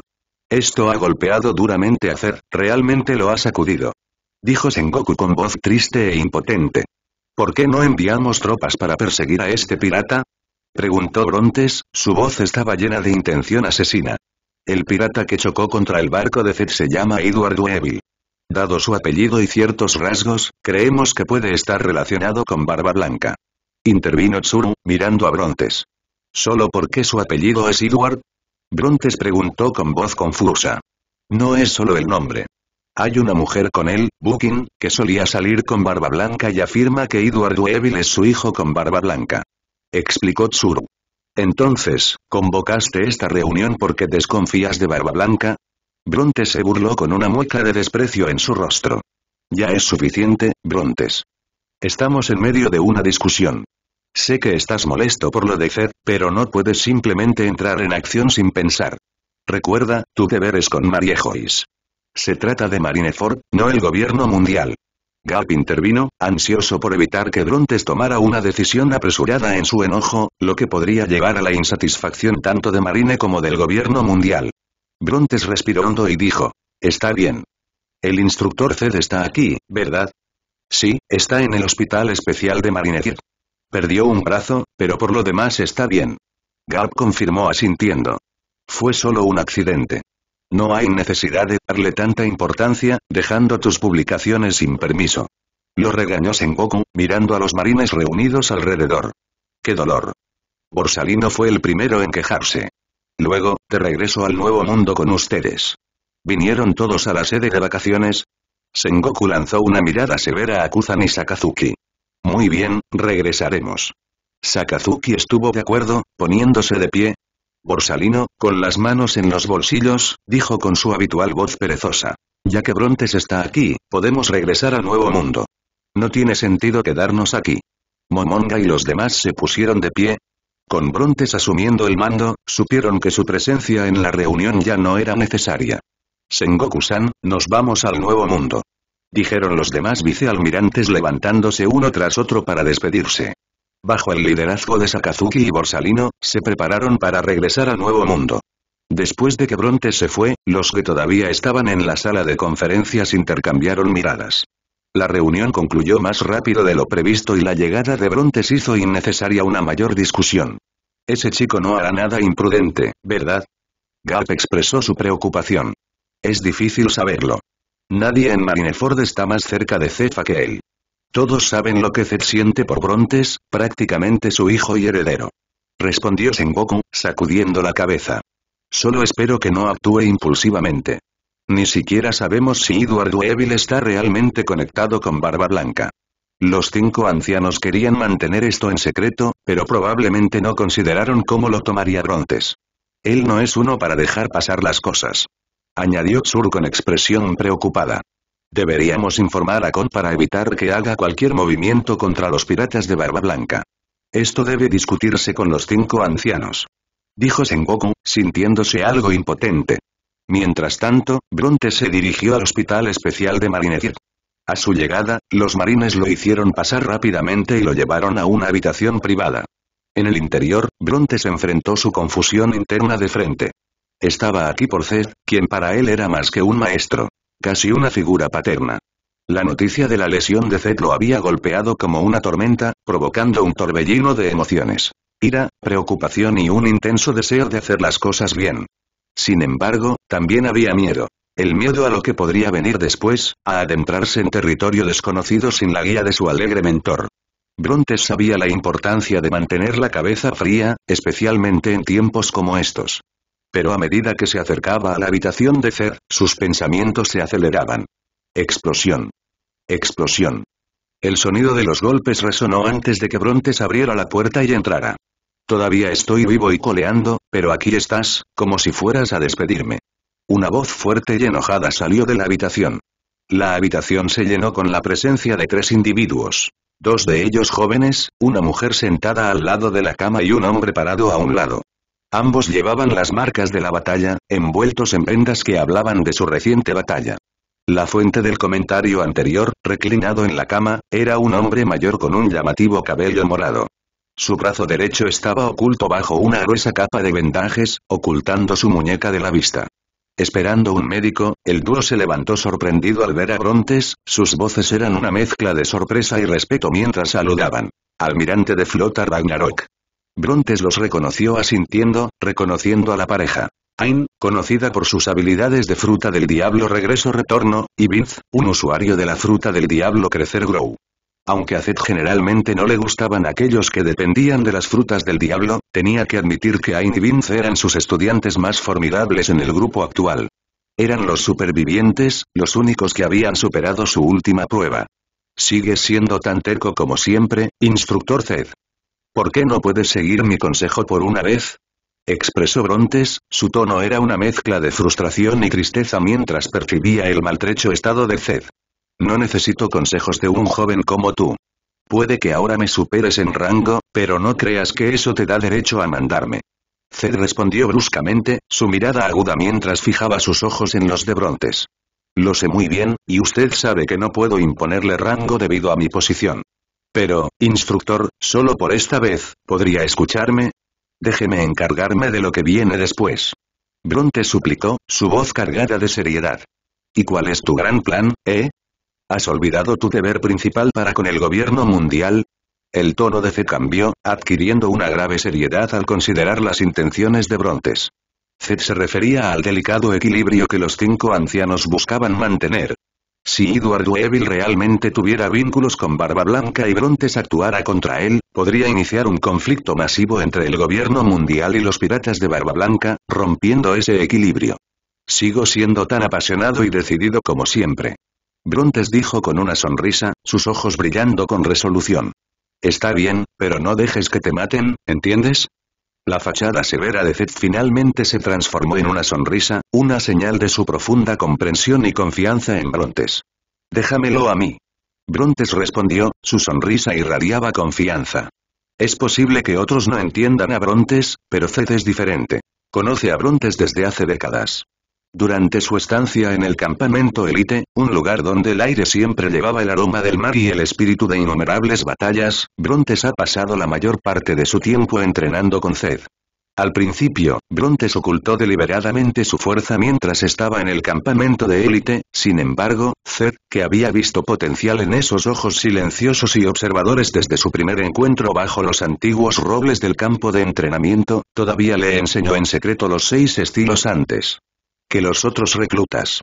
Más tarde, durante su pasantía, Zed prestó mayor atención al entrenamiento de Brontes, a menudo bajo el cielo iluminado por la luna, y sus figuras proyectaban largas sombras en el suelo mientras practicaban hasta el amanecer. Para los de afuera, Zed es el legendario instructor jefe de la Marina porque ha entrenado a los líderes de la Marina de la nueva era, haciendo alarde de la fuerza de la Marina. Sin embargo, solo unos pocos saben que, a pesar de tener muchos alumnos, Brontes es quien más satisface a Zed. Brontes, uno de sus alumnos, logró el mayor éxito, convirtiéndose en el almirante de marina más joven de la historia. Cuando enseña a los recién llegados, Zed siempre establece a Brontes como su objetivo, incluso para la segunda corte como Kusan, quien, influenciado por Zed, estableció a Brontes como su objetivo. Sus interacciones no consistieron en muchas palabras, sino en miradas compartidas que transmitían mucho, un reconocimiento silencioso de respeto mutuo y comprensión forjados en el crisol del entrenamiento y la batalla. Brontes y Zed no hablaron mucho durante su reunión. Todo se comunicó en frases cortas. Zed sabía que Brontes definitivamente vendría a verlo, pero no quería que Brontes tomara riesgos para vengarse de él, porque sabe que incluso contra los oponentes más fuertes, Brontes no permitiría que nadie le faltara el respeto. Para Brontes, Zed no era solo un anciano o un mentor. Zed es similar a la familia. Después de que Brontes salió del hospital, Zed miró al techo y suspiró profundamente. La habitación, llena del aroma estéril de la medicina y los tonos subyacentes de la sal marina que entraba a través de la ventana abierta, pareció cerrarse a su alrededor.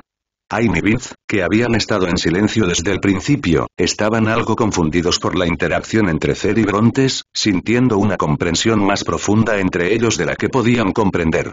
Finalmente, Aim no pudo evitar preguntarle a Zed. Instructor, ¿qué va a hacer el almirante de flota Ragnarok? No preguntes. Lo sabrás en unos días. Zed sacudió la cabeza y dijo con una sonrisa de alivio.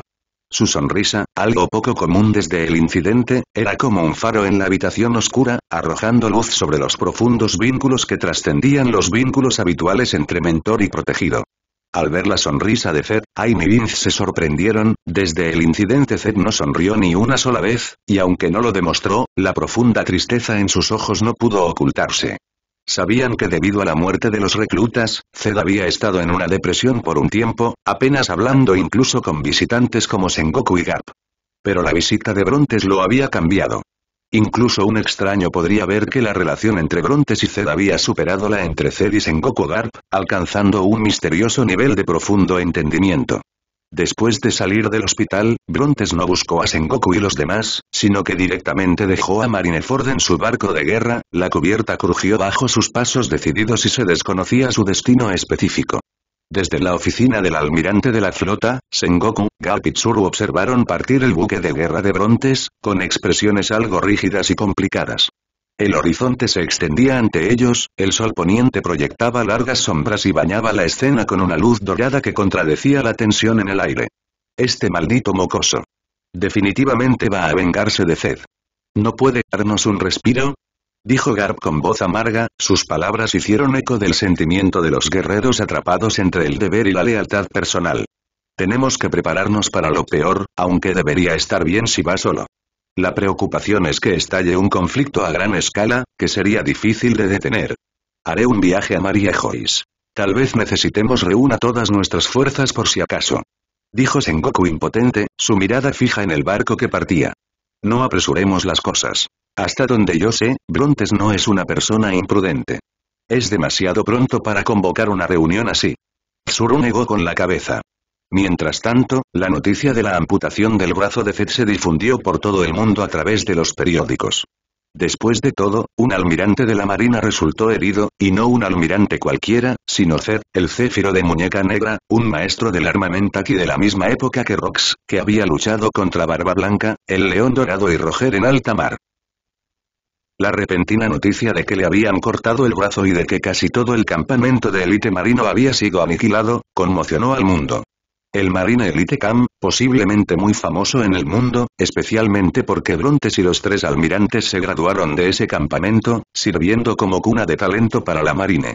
En cuanto a los alumnos del campamento de élite, el primer grupo de estudiantes ahora son vicealmirantes en Marineford y New World, siendo el de mayor rango Brontes, el almirante de flota del gobierno mundial, seguido por los almirantes, Sakazuki y Borsalino. El segundo grupo está formado principalmente por contraalmirantes, siendo el de mayor rango Kusan, un almirante en Marineford, etc. Dado que el 80% del alto mando actual de la infantería de marina proviene del campamento de élite, es fácil imaginar cuántos talentos ha nutrido el campamento para la infantería de marina. Y la persona responsable de fomentar estos talentos es el almirante retirado Zed, de quien casi se puede decir que enseñó a los tres almirantes más brontes. Tocar hacer inevitablemente afectaría a todo el marine. La primera reacción de los piratas al escuchar esta noticia fue que la tripulación pirata que se atrevió a golpear a Zed se llevó mala suerte porque chocó contra un avispero. Tres Rosa, la base secreta de Doflamingo. Fu fu fu. Qué audacia y coraje, pensar que alguien se atrevería a hacerle un ataque así a ese viejo bastardo de Zed, eso es como hurgar en el avispero, ¿quién es el tonto que hizo esto? Flamingo se rió mientras leía el titular del periódico, el sonido de su risa resonó siniestramente en la habitación con poca luz, un presagio del caos que estaba por venir. ¿El marine realmente tomará represalias por Cepir? Preguntó Pika con su voz aguda. Depende de quién tomó la decisión y también de si los estudiantes de Cepir están dispuestos a defenderlo. Flamingo se rió entre dientes y entrecerró los ojos mientras reflexionaba sobre la intrincada red del gobierno mundial que gobernaba su mundo. Supongo que no, cualquiera capaz de cortarle el brazo a un almirante debe ser increíblemente poderoso. Incluso si el marine quiere venganza, requeriría una cantidad significativa de fuerzas y tiempo. Pika continuó, su voz era un sombrío recordatorio de la dinámica de poder en juego. Bueno, veamos quién atacó, Flamingo hizo una pausa mientras miraba el periódico, de repente paralizado. ¿Qué pasa, joven maestro? Preguntó Pika con voz curiosa.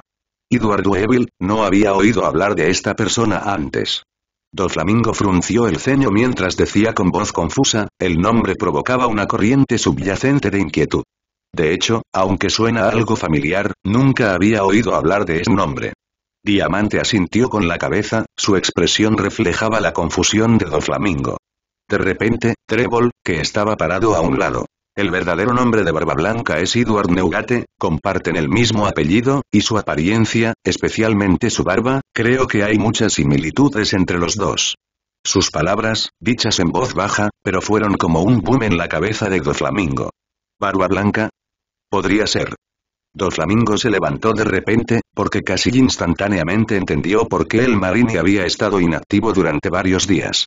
Si el pirata que cortó el brazo de Zed estaba realmente relacionado con Barba Blanca, entonces el marine realmente podría permanecer en silencio y nunca abrir el tema. Al darse cuenta de esto, Doflamingo se echó a reír. Fu fu fu fu. Si Edward Weevil está realmente relacionado con Barba Blanca, tal vez el marine pierda a Black Oil Cepir para siempre, a menos que decidan iniciar una guerra contra los piratas de Barba Blanca. Su risa, llena de oscura diversión, resonó en la habitación, un presagio escalofriante de la tormenta que se avecinaba en el horizonte. Tal vez, ese no será el caso, dijo Trébol en voz baja, sus palabras cortaron la risa de Doflamingo como un cuchillo. ¿Qué quieres decir? Doflamingo dejó de reír y preguntó, despertando su interés. El joven maestro olvidó que el almirante de la flota Ragnarok también fue un recluta en el campamento élite, y según lo que he escuchado, la relación entre los dos es muy fuerte, ¿crees que ese tipo permanecerá en silencio después de lo que le pasó a Cepir? Dijo Trébol con voz seria, sus palabras arrojaron una sombra de duda sobre las suposiciones de Doflamingo. La expresión de Doflamingo se puso rígida. Bien, me olvidé de ese maníaco, siempre y cuando intervenga, incluso si es barba blanca, su voz se apagó y se dio cuenta de que la calma antes de la tormenta era en realidad una pausa engañosa y que la verdadera tempestad aún estaba por llegar. Tierra Santa Mariejois, oficina de las cinco estrellas mayores. La habitación estaba llena del fuerte olor a papel envejecido y madera pulida, un testimonio de las innumerables decisiones que habían dado forma al mundo, tomadas dentro de sus opulentas paredes. La luz del sol se filtraba a través de las ventanas ornamentadas, proyectando un brillo solemne sobre las cinco figuras sentadas alrededor de la antigua mesa. Tal como pensábamos, Brontes hizo su movimiento. El aire estaba cargado de anticipación, cada palabra cargada con la gravedad de la situación. Fue a buscar a Barba Blanca, ¿eh? Sigue siendo tan inteligente como siempre. No fue directamente a Edward Weevil, sino que fue a buscar a Barba Blanca para investigar la relación entre los dos. Una luz parpadeó en los ojos del anciano del sombrero negro. Pero con la personalidad de Barba Blanca, si Brontes entra en su territorio y pregunta sobre su relación con Edward Weevil, dijo el audaz anciano con un gran bigote. Barba Blanca probablemente estaría furioso. Dijo el anciano de cabello rubio con voz seria, con el ceño fruncido mientras imaginaba la tormenta acercándose en el horizonte, tanto literal como metafírica. La habitación pareció oscurecerse con sus palabras. De hecho, Brontes entrando en su territorio, independientemente del motivo, definitivamente conduciría a un gran conflicto entre los dos. Incluso si no hay relación entre él y Weevil, aún así estallaría un conflicto, porque Barba Blanca no tolerará que alguien entre en su territorio. Para interrogarlo.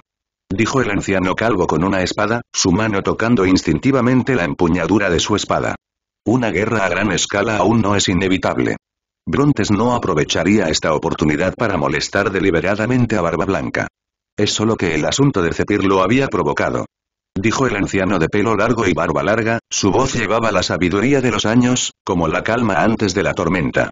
¿Deberíamos detenerlo? Preguntó uno de ellos, pero había un poco de vacilación en su voz, como un marinero que cuestiona el viento antes de zarpar. El anciano del sombrero negro sacudió la cabeza y dijo, ¿Crees que nos escuchará ahora mismo? Solo la cabeza de Edward Weevil calmará su ira. Solo nos queda esperar que no se exceda.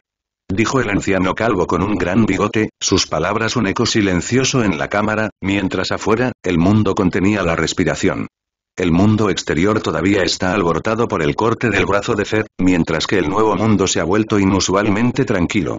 Piratas escondidos en sus guaridas, el mar anormalmente tranquilo, como si la naturaleza misma estuviera conteniendo la respiración anticipando la tormenta que se avecinaba. El silencio era ensordecedor, un marcado contraste con la cacofonía habitual del Nuevo Mundo. Muchos piratas se esconden en sus guaridas y no se atreven a moverse porque no pueden estar seguros de si el marine chocará con los piratas de Barba Blanca. Una vez que realmente estalla una guerra, sin duda se extenderá por todo el Nuevo Mundo. Toda la atmósfera del nuevo mundo se ha vuelto silenciosa, innumerables personas están mirando, esperando la respuesta del marine, sus corazones latiendo al unísono con el tic-tac del reloj de la guerra. Jefe, ¿realmente vas allí? En el nuevo mundo, en una isla extraña con una superficie terrestre muy pequeña pero en la que crecía un árbol gigantesco, un grupo de criaturas parecidas a pájaros estaban hablando. La isla era un tapiz de colores y sonidos vibrantes, un marcado contraste con la tensión silenciosa que llenaba el aire. Debo irme. Es muy probable que estalle una guerra. Si puedo obtener información de primera mano, el puesto de director ejecutivo será mío. Dijo un hombre pájaro con gafas, su voz llena de determinación. A su alrededor, la isla mágica parecía contener la respiración, el habitual parloteo de las criaturas parecidas a pájaros se silenciaba por el asombro ante el coraje de su líder. Pero, señor Morgans, es demasiado peligroso. Es mejor dejarlo en manos del Departamento de Inteligencia. Dijo uno de los subordinados de Morgans, su voz mezclada con preocupación y miedo. No, ya tengo las últimas noticias. Debo ir allí. No digas más. Dijo Morgans, sosteniendo un maletín y montado en el lomo de un ave marina gigante, saliendo de esta isla mágica. El cielo pareció abrirse para él, un camino tallado por su inquebrantable determinación, mientras la isla se desvanecía en la distancia. El almirante de flota Ragnarok dejó Mariejois, el acuerdo con el gobierno mundial realmente dio sus frutos. Mientras pueda publicar esta noticia, el puesto de jefe ejecutivo será mío y nadie podrá quitármelo. Una gran sonrisa feliz apareció en el rostro de Morgans. El director ejecutivo del World Economy Newspaper se estaba haciendo viejo, y estos vicepresidentes quieren ascender, deben producir suficientes noticias convincentes. La noticia sobre el incidente de CEP fue desenterrada por otro vicepresidente, lo que sin duda presionó a Morgans. Por lo tanto, necesita recibir noticias más importantes, para que los trabajadores de la economía mundial conozcan su dedicación y esfuerzos y luego lo apoyen para ascender al puesto de jefe ejecutivo. Morgan se devanó los sesos y finalmente compró a un funcionario de alto rango del gobierno mundial, de quien aprendió una importante pieza de inteligencia. El almirante de flota Ragnarok, ahora estacionado en Mariejois durante todo el año, abandonó Mariejois, sin embargo, aún se desconoce a dónde fue. Con las capacidades de inteligencia de la economía mundial, Morgan sabía que la relación de Brontes con Ced es extraordinaria, por lo que pensó que es muy probable que Brontes fuera a buscar a Barba Blanca, y una vez que se hace contacto con Barba Blanca, la posibilidad de que estalle un conflicto era alta y casi seguro que sucedería. Para ocupar el puesto de director ejecutivo y causar gran revuelo en las noticias, Morgan cree que necesita demostrar el coraje de un periodista. Quiere informar personalmente sobre este asunto y, si es necesario, iniciar una sensacional transmisión en vivo. Después de la era de Rox, Barba Blanca se hizo conocido como el hombre más fuerte del mundo y mantuvo ese título desde entonces, superando a figuras como Shiki y Roger en términos de fuerza. Los países del Nuevo Mundo entienden una cosa. Para sobrevivir en el Nuevo Mundo, no pueden depender de la Marina, sino que deben depender de las tripulaciones piratas de los cuatro Yonko. Solo los cuatro Yonko pueden protegerlos en el Nuevo Mundo y, en comparación con los marines, los piratas del Nuevo Mundo temen a los cuatro Yonko aún más. Sin embargo, después de que el incidente que involucró a Zed se hiciera público a través de los periódicos, la atmósfera dentro de los piratas de Barba Blanca se volvió tensa y muchos piratas del Nuevo Mundo se dieron cuenta. La mayoría de la gente en el Nuevo Mundo sabe que el verdadero nombre de Barba Blanca es Edward Neugate, y que el hombre que cortó el brazo de Zephyr se llama Edward Weevil. Aquellos aún más familiarizados con Barba Blanca, como Big Mom y Kaido, saben aún más. La anciana llamada Bukin, que siempre está al lado de Weevil, fue una vez compañera de Barba Blanca. El tiempo hoy no parece muy bueno. Dijo uno de los subordinados de Barba Blanca, sus ojos escaneando los cielos cada vez más oscuros, un reflejo de la agitación dentro de sus corazones. Sí, los otros piratas a su lado asintieron en silencio, las habituales bromas y risas ausentes de sus labios. El barco, que alguna vez estuvo lleno de sonidos de vida, ahora era un testimonio silencioso de la gravedad de su situación. Quizás debido a lo que sucedió recientemente, los miembros de los piratas de Barba Blanca no estaban enérgicos como de costumbre, jugando y charlando entre ellos en el barco. Sin embargo, el vigía en el mástil de repente escuchó algo, por lo que rápidamente miró hacia arriba, solo para ver un pequeño punto negro en el horizonte, acercándose rápidamente a ellos. Inmediatamente toma un telescopio para verlo más de cerca. Su corazón se aceleró, el sonido latía fuerte en sus oídos, un tambor que anunciaba la aproximación de una amenaza desconocida. Al ver lo que se acerca, empieza a sudar. Papá. Es el marine, ya vienen. Gritó en voz alta, inclinándose para alertar a los miembros de los piratas de Barba Blanca que estaban debajo. Aparte del propio Barba Blanca, Marco había advertido a los miembros de los piratas de Barba Blanca que pronto podrían chocar con el marine. Por lo tanto, han estado atentos estos últimos días y ahora, efectivamente, ha llegado el marine. El aire se llenó con el sonido de pies corriendo y órdenes a gritos, el barco, antes silencioso, estalló en un torbellino de actividad. Date prisa y prepárate. Marco gritó fuerte, su voz cortando el aire tenso como una cuchilla afilada. Los miembros de los piratas de Barba Blanca entraron en acción, sus pasos resonaron en la cubierta de madera, mientras el propio Barba Blanca permanecía sentado en su lugar designado, el ojo tranquilo en la tormenta de actividad. Rodeado de muchas hermosas niñeras que lo atendían, el aire estaba cargado de anticipación y del aroma salado del mar.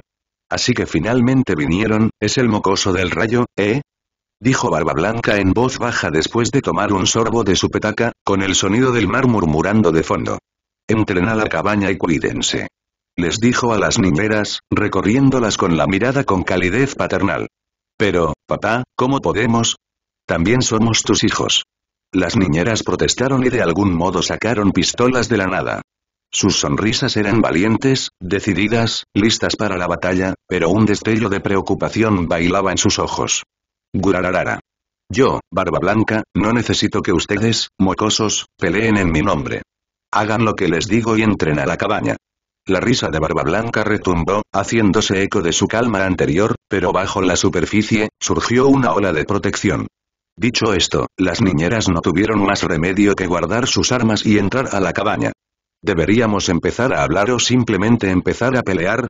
Reflexionó Barba Blanca, mirando el buque de guerra que se acercaba en el cielo, expulsando humo como una máquina de vapor.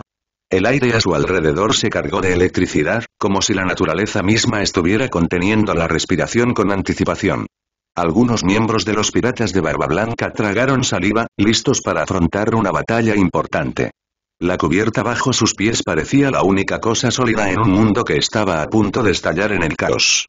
De repente, el cielo brilló y un enorme relámpago atravesó el lugar, iluminando los rostros de la tripulación, cada uno marcado con determinación y un toque de miedo. Mientras estaban distraídos por el trueno, un rayo cayó desde las nubes oscuras directamente sobre el Moby Dick y el impacto provocó un escalofrío en todo el barco. Marco y otros corrieron hacia la ubicación de Barba Blanca cuando el rayo los obligó a retroceder, con una mezcla de preocupación y desafío en sus rostros. Finalmente, frente a Barba Blanca, el tumultuoso relámpago se calmó, revelando a un hombre con un abrigo marino parado frente a Barba Blanca. Su presencia era imponente, el aire a su alrededor crepitaba con un poder indescriptible. Sus ojos, fríos y penetrantes, se clavaron en los de Barba Blanca, un desafío silencioso flotando entre ellos. Ha pasado un tiempo, Barba Blanca. Finalmente está aquí. He estado esperando aquí durante tres días, comencé a pensar que no vendría, pero ahora está aquí, en las aguas lejanas, viendo el buque de guerra de Brontes volando en el cielo y el Moby Dick. Anclado en el mar, Morgans, que sostenía su cámara, se emocionó increíblemente. Había estado esperando este momento durante tres días enteros y ahora finalmente había llegado. Mientras Morgans remaba su bote más cerca en silencio. De repente, cayó un rayo e inmediatamente aprovechó la oportunidad. Chic. Chic. Chic. Sus dedos presionaron rápidamente el obturador de la cámara, afortunadamente trajo suficientes películas para grabar todo, de lo contrario la película dentro de la cámara solo sería suficiente para unos minutos antes de llenarse por completo. El mar que los rodeaba parecía sentir el choque inminente, con olas cada vez más tumultuosas, como si la naturaleza misma se estuviera preparando para el enfrentamiento. Una ráfaga de viento trajo la sal y el olor de una tormenta que se acercaba, señalando la batalla que se avecinaba. En ese momento, la atmósfera en el Moby Dick era extremadamente tensa, el aire casi parecía congelarse. Barba Blanca miró fijamente a Brontes, sus pupilas y el blanco de sus ojos no eran visibles, dejando solo ojos oscuros y huecos. Los miembros de los piratas de Barba Blanca se agruparon alrededor de Brontes, con Marco, Josu, Vista, Tache e incluso Barba Negra, cada uno recogiendo sus armas, listo para la batalla. En un breve momento de reflexión, Barba Blanca recordó la última vez que se enfrentó a Brontes, un choque feroz que terminó en un punto muerto. Esos recuerdos trajeron una mezcla de respeto y rivalidad que había envejecido como un buen vino. Finalmente, Barba Blanca bajó la cabeza. Sí, ha pasado mucho tiempo, la última vez que nos vimos fue después de que te convertiste en almirante. Dijo Barba Blanca, con los ojos mirando a Brontes parada frente a él. ¿Qué te trae a mi territorio? ¿Te envió el marine a tratar conmigo porque no pueden?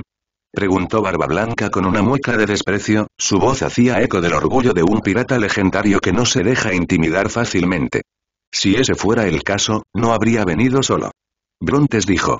Habría traído toda la fuerza naval conmigo. ¿Qué hay de ti, Barba Blanca? Veo que reuniste todas tus fuerzas aquí, ¿tienes miedo de que vaya a por ti? Al escuchar esto, Barba Blanca inmediatamente volvió su mirada hacia Marco y los demás, dándose cuenta de que Marco les había informado a los demás sin su conocimiento. De hecho, notó que todos sus capitanes habían regresado al barco en los últimos dos días. Barba Blanca no dijo nada. En cambio, sintió una sensación de alivio. Estos eran sus hijos, y al tener un grupo de niños que eran lo suficientemente valientes como para atreverse a luchar contra un monstruo como Brontes para protegerlo, este cuidado y vínculo lo hacían feliz.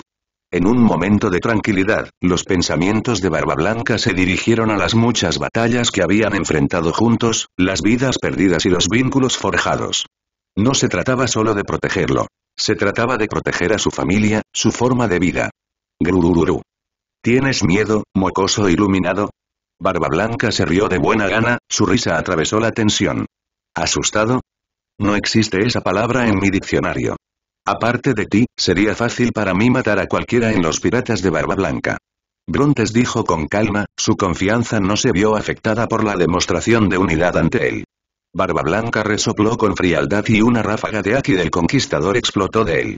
Brontes desató simultáneamente su propio Aki de conquistador, y las dos fuerzas chocaron en el aire con un estruendo atronador. El mar debajo de ellos se estremeció, como si se encogiera de miedo ante el poder desatado. La colisión entre los dos Akis del conquistador fue como una onda de choque invisible, que instantáneamente silenció toda el área del mar. Los miembros de los piratas de Barba Blanca se deslizaron hacia atrás, mientras que los más débiles sufrieron un shock mental y se desmayaron casi al instante. Por un momento, el mundo pareció detenerse, el mismo aire cargado con el poder de sus voluntades. El cielo arriba se oscureció, las nubes negras se arremolinaban como para reflejar el choque de titanes debajo. Para Barba Blanca, los miembros de su tripulación eran su familia. Para él, cualquiera que intentara atacar a su familia era como atacarlo directamente. La amenaza planteada por Brontes en este momento había tocado el resultado final de Barba Blanca. Con ambos empuñando el Aki del conquistador, sus ojos fijos en el otro, sus auras incompatibles chocaron en el aire.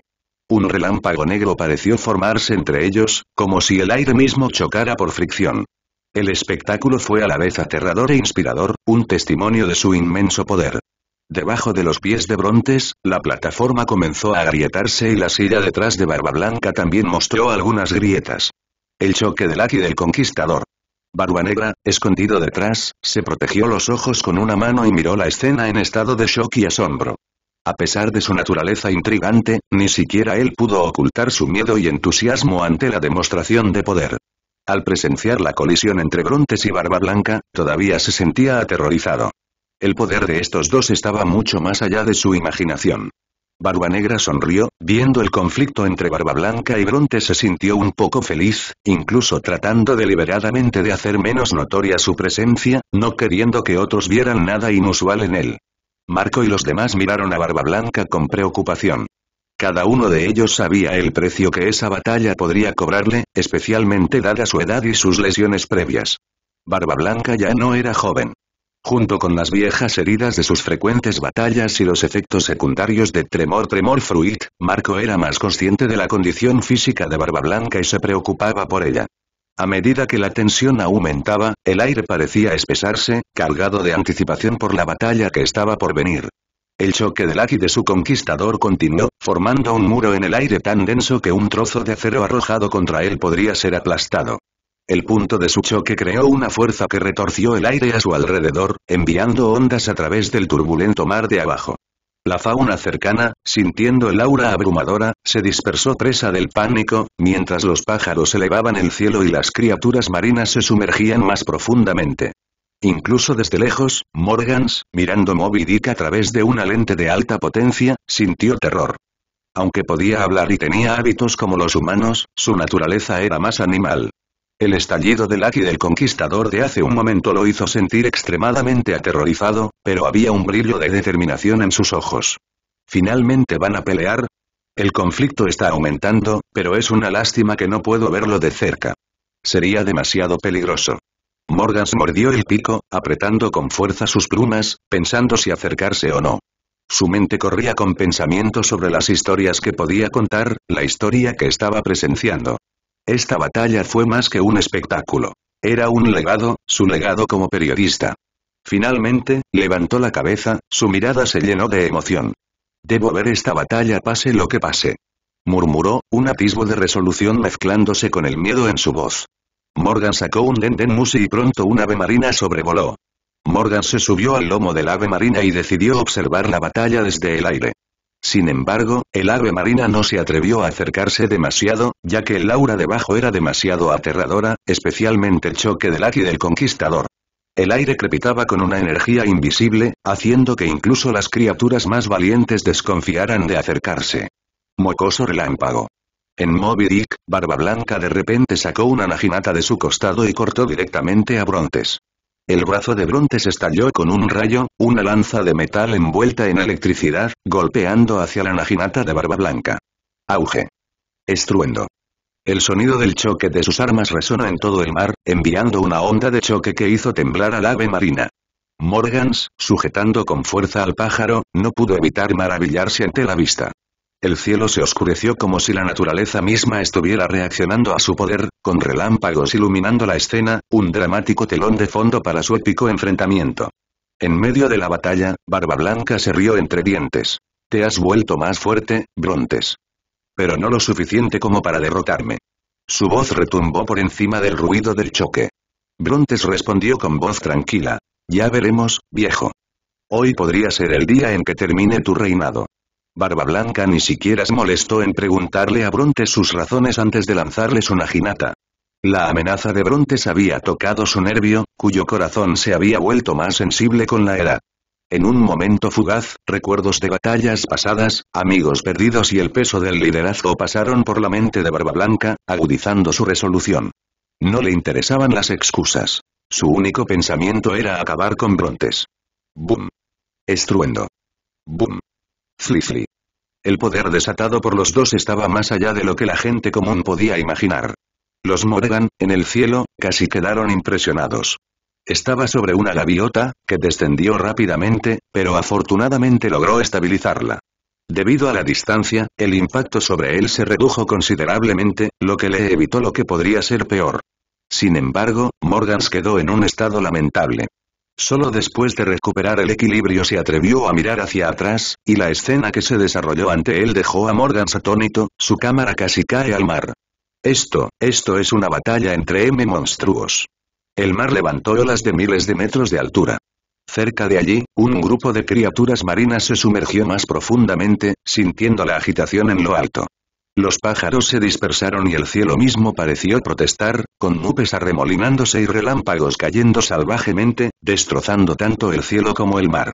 Marco y los demás fueron arrojados al costado del barco por el repentino inicio de la pelea, un nivel de combate mucho más allá de su capacidad de intervenir.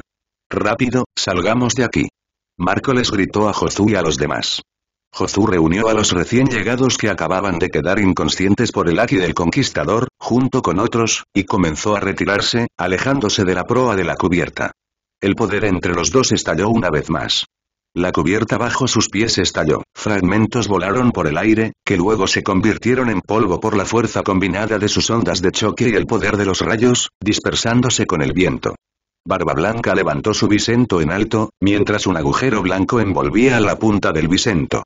Brontes tampoco desperdició palabras, concentrando un rayo en la punta de su lanza y lanzándola hacia Barba Blanca. Las aspas del bisento y la punta de la lanza chocaron una vez más y el mar rugió sin fin. Centrada en torno al Moby Dick, toda la zona del mar vibró. Esto fue más que una batalla. Fue una sinfonía de destrucción, presenciada por una audiencia que abarcaba todo el mundo.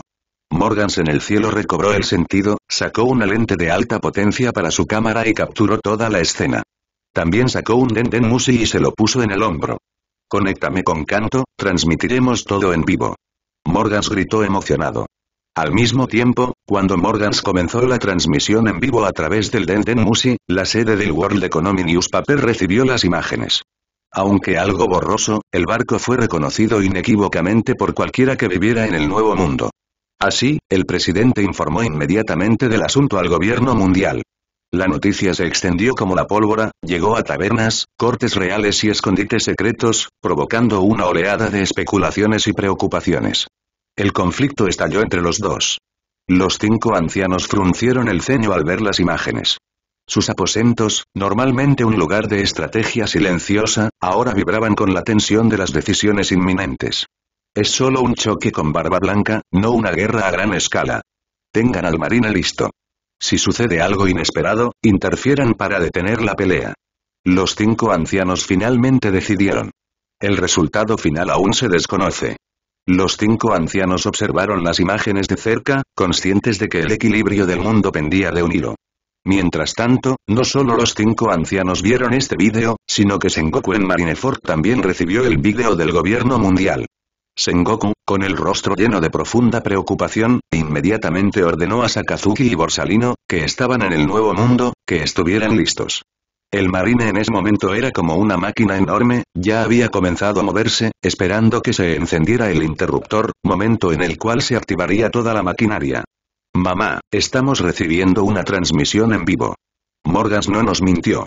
Pero entró corriendo en la habitación de Big Mom y gritó emocionado. Mientras hablaba, sus ojos brillaban ante la perspectiva de presenciar un choque entre titanes, un espectáculo poco común incluso en su tumultuoso mundo. ¿Qué estás esperando? Déjame verlo rápido. Big Mom ordenó a Peróspero que abriera el vídeo. Dentro de su mente, se preguntaba qué resultado serviría mejor a sus intereses. Mamá. Date prisa y empieza a pelear. Me pregunto cuánto tiempo podrá aguantar ese viejo barba blanca. Sería mejor si ambos murieran. Big Mom se rió perversamente y su voz resonó en la habitación, llena de oscura anticipación. El aire a su alrededor parecía temblar con la intensidad de sus deseos, como si incluso la atmósfera de Island respondiera a sus caprichos.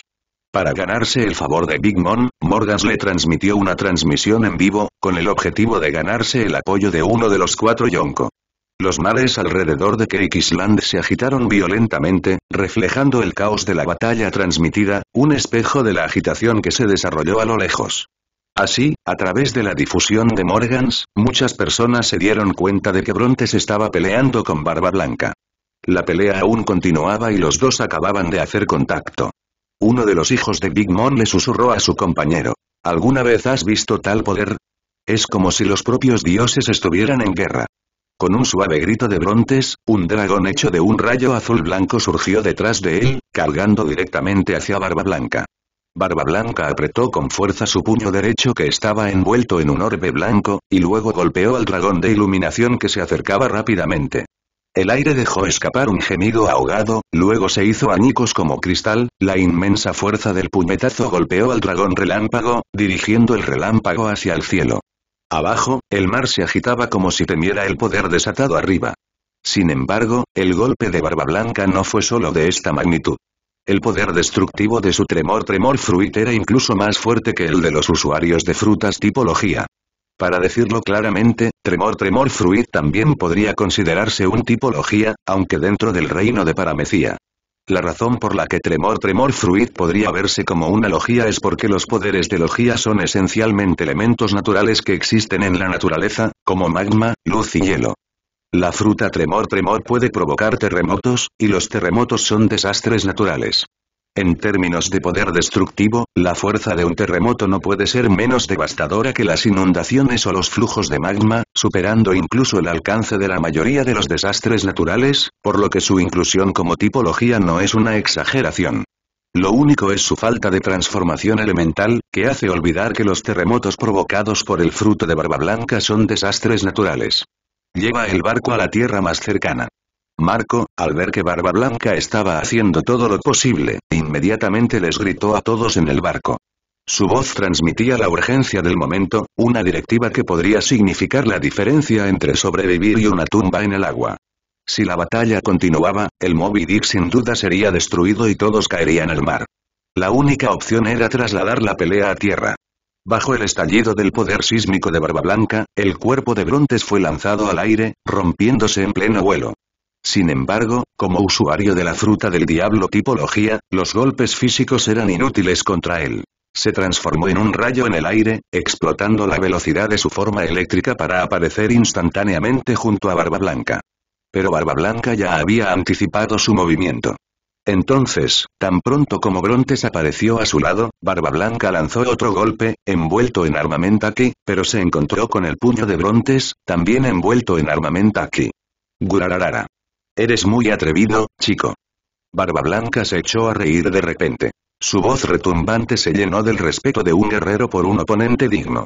Un orbe de luz transparente apareció en el puño de Barba Blanca, reuniendo la verdadera esencia de la fruta del diablo de Barba Blanca. Terremoto severo. Barba Blanca rugió, sus poderes de fruta del diablo estallaron, el efecto de las vibraciones cubrieron el puño luminoso de Brontes. Incluso Kaido, en su forma monstruosa, se encontraría en desventaja contra Barba Blanca bajo el efecto de Tremor Tremor Fruit. Las defensas proporcionadas por Aki fueron completamente inútiles. De hecho, bajo el poder de Barba Blanca, el brazo de Brontes se dobló, se escuchó el sonido de huesos rompiéndose y su brazo se torció de una manera extraña. Este. Marco, que volaba no muy lejos, de repente se dio cuenta de que la expresión de Brontes no había cambiado en absoluto, como si la horrible fractura en su brazo no fuera nada. Los ojos de Barba Blanca se abrieron con total asombro ante la vista que tenía ante él. El puño de Brontes se abrió y sus dedos agarraron uno de los dedos de Barba Blanca. Dado el tamaño más grande de Barba Blanca, la palma de Brontes solo pudo asegurar uno de los dedos de Barba Blanca, liberándolo de su puño. Brontes reveló una sonrisa feroz, y luego su brazo se transformó en un rayo, como ningún otro, con capas de color azul por fuera, rojo por dentro y un dorado deslumbrante en el centro. Este rayo, similar a una corriente de plasma, atravesó el dedo de Barba Blanca. Barba Blanca gritó enojado, pero ya era demasiado tarde. Una nube de humo negro se elevó de su dedo y el olor a carne carbonizada flotaba en el aire. La temperatura terriblemente alta del rayo atravesó el dedo de Barba Blanca, dejando solo una capa de piel seca y huesos blancos, mientras la carne y la sangre del interior desaparecían. Al ver desaparecer la carne del dedo de Barba Blanca, los ojos de Marco se abrieron de par en par con incredulidad. Una fría comprensión cayó sobre él y la tripulación. Su invencible capitán resultó herido. Lesión por lesión, qué loco más loco. Morgans, que espiaba desde arriba, quedó tan sorprendido que casi se quedó boquiabierto. Tenía una visión clara a través de sus binoculares de alta potencia. El brazo de Brontes estaba roto, probablemente con huesos destrozados, pero a Barba Blanca no le fue mejor. Las altas temperaturas del rayo de Brontes no solo atravesaron el dedo de Barba Blanca sino que casi destruyeron su palma. Morgans finalmente entendió por qué Brontes fue apodado el loco del marine hace unos años. Su enfoque del combate fue completamente imprudente. A pesar de enfrentarse a Barba Blanca, no utilizó su dominio de la velocidad del rayo y las habilidades de la fruta del diablo para acosar. En cambio, eligió una estrategia directa y mutuamente destructiva, mordiendo un trozo de carne de barba blanca. La escena volvió a ser Big Mom, que observaba con una mezcla de horror y fascinación. Mamá mamá. Qué delicioso giro de los acontecimientos. Reflexionó, mientras sus pensamientos ya corrían hacia cómo explotar el resultado de la batalla. Maldita sea. Esto es increíble. Transmitir esta batalla realmente podría aumentar mis posibilidades de conseguir ese puesto de presidente. Dijo Morgans, incapaz de ocultar su emoción. La gente en esa área, ya sea que estuvieran allí en persona o sintonizando una transmisión en vivo, no pudieron evitar quedar atónitos por la feroz intensidad de la lucha que se desarrollaba ante ellos. Para ellos estaba claro que si fueran ellos los que estuvieran en la batalla, enfrentarse a cualquiera de estos poderosos monstruos significaría una muerte segura.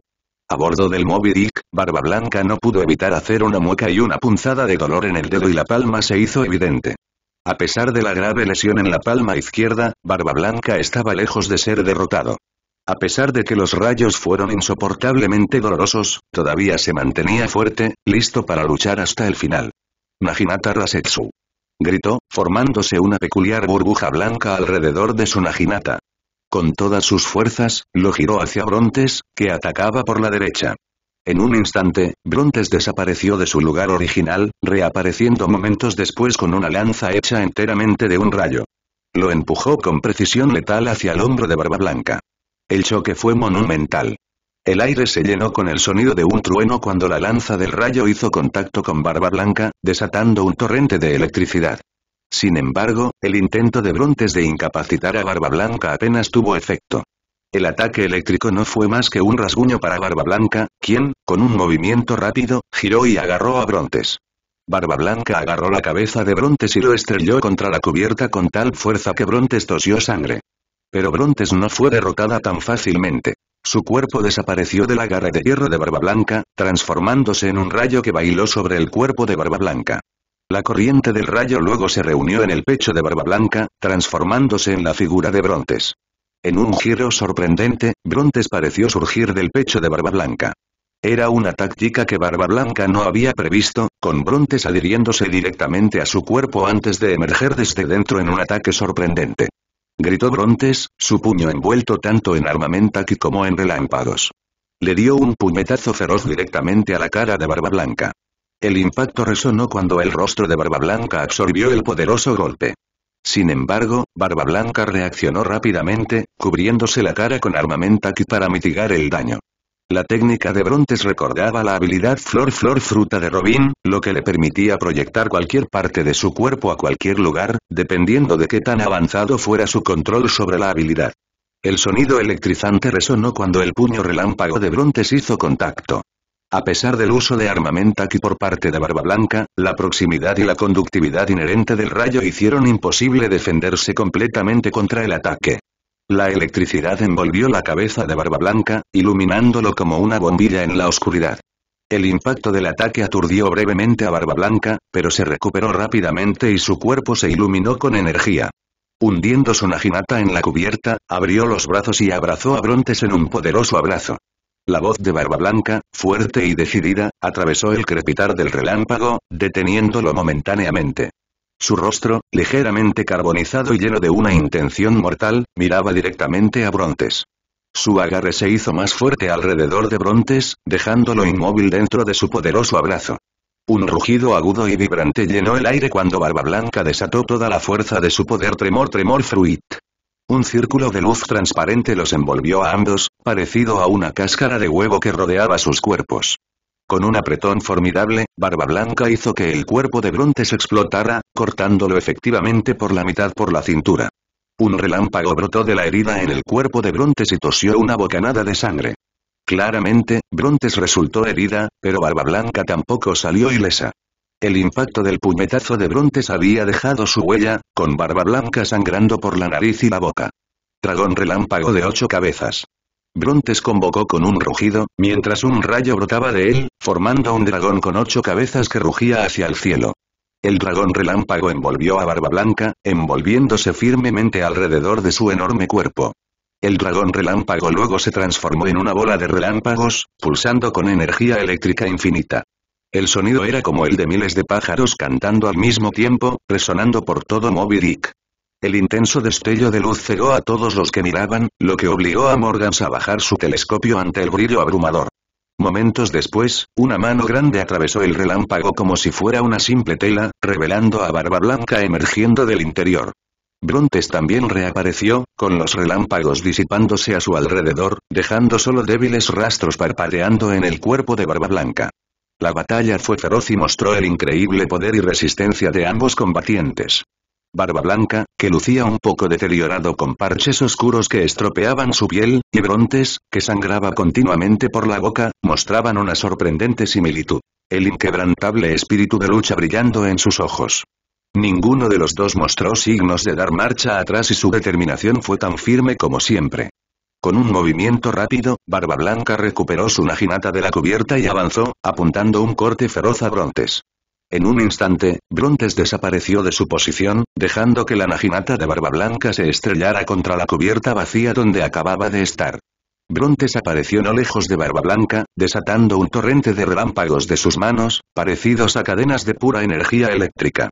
Barba Blanca, sin inmutarse, levantó el brazo y lanzó un puñetazo, su poder chocó con el ataque del rayo. La formidable fuerza de Tremor Tremor Fruit atravesó el aire, desviando el rayo y enviando una devastadora onda de choque hacia Brontes, dispersando su forma una vez más. Brontes siguió moviéndose, golpeando implacablemente a Barba Blanca con un rayo. Su intercambio de poderosos golpes amenazó con destrozar Moby Dick. Sin que ellos lo supieran, un Gyojin estaba secretamente ejerciendo su fuerza abajo, empujando al Moby Dick en una nueva dirección. En medio del espectacular choque, la estrategia de Barba Blanca se hizo evidente. Se mantuvo firme en el centro del barco, soportando los ataques de Brontes y concentrándose más en la defensa que en la ofensiva. Marco, observando desde la distancia, se dio cuenta del esfuerzo deliberado de Barba Blanca por contener la batalla dentro de un área determinada.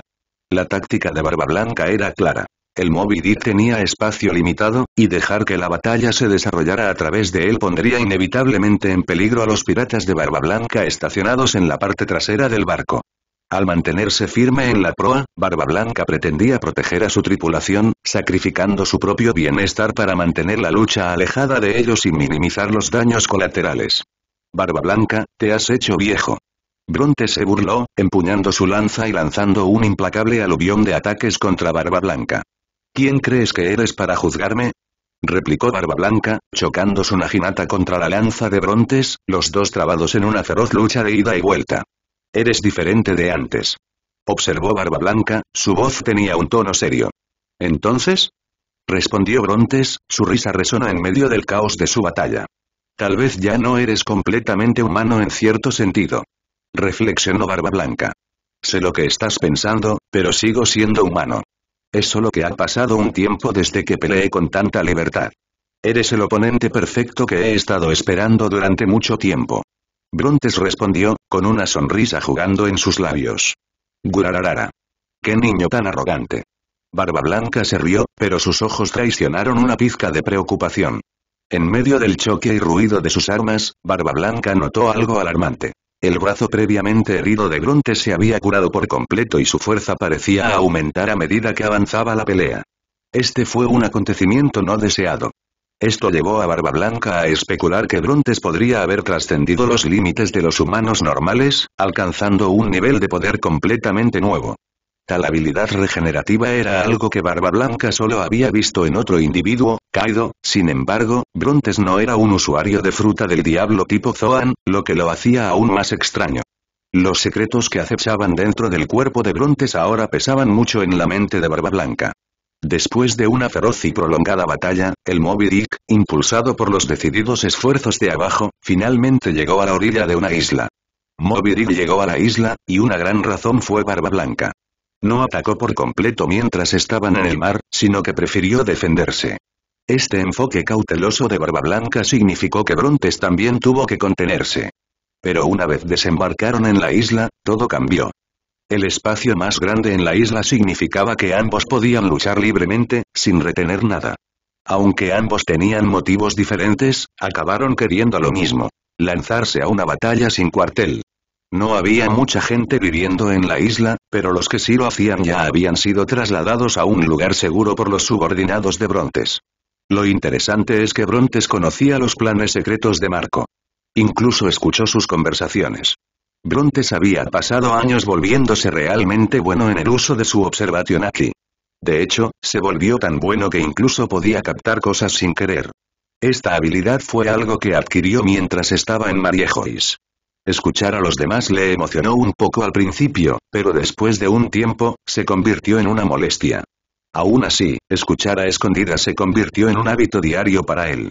Cuando Brontes descubrió que Marco y los demás se dirigían a una isla con Moby Dick, usó su poder único para enviar mensajes mediante ondas electromagnéticas.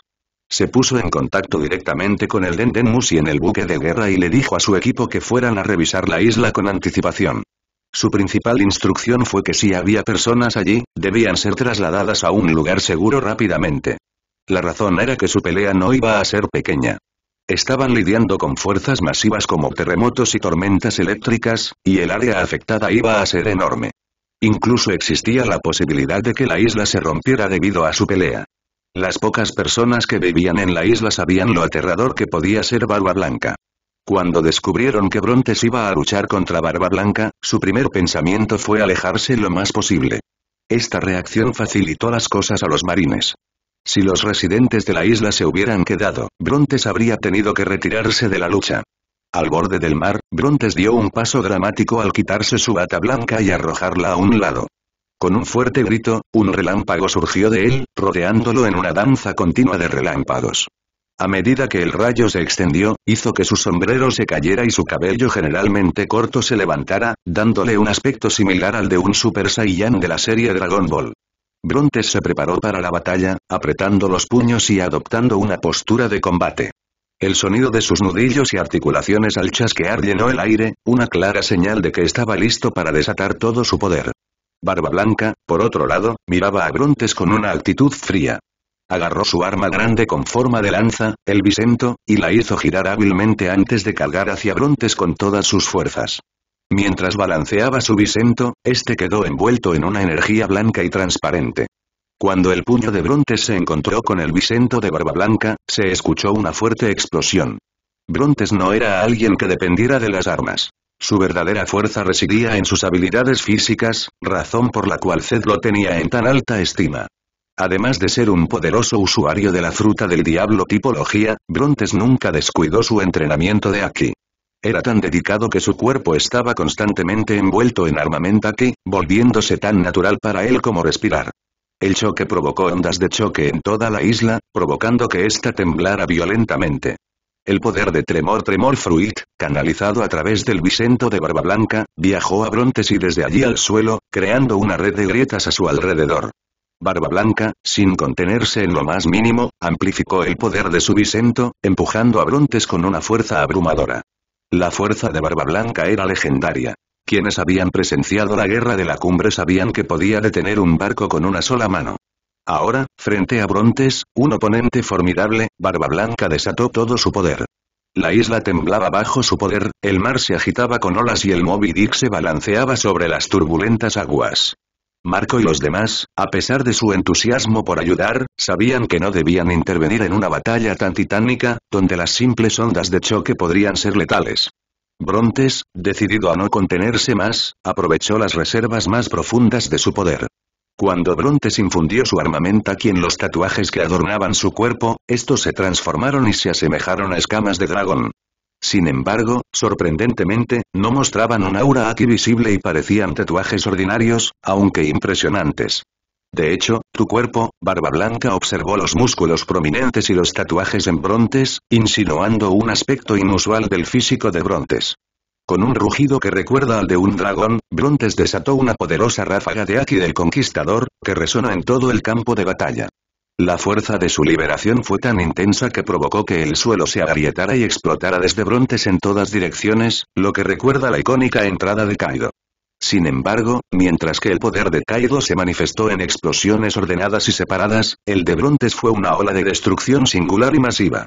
Arriba, las nubes se arremolinaban en un vórtice, los relámpagos serpenteaban a través de ellas como dragones, como si la naturaleza misma estuviera respondiendo a la furia de Brontes.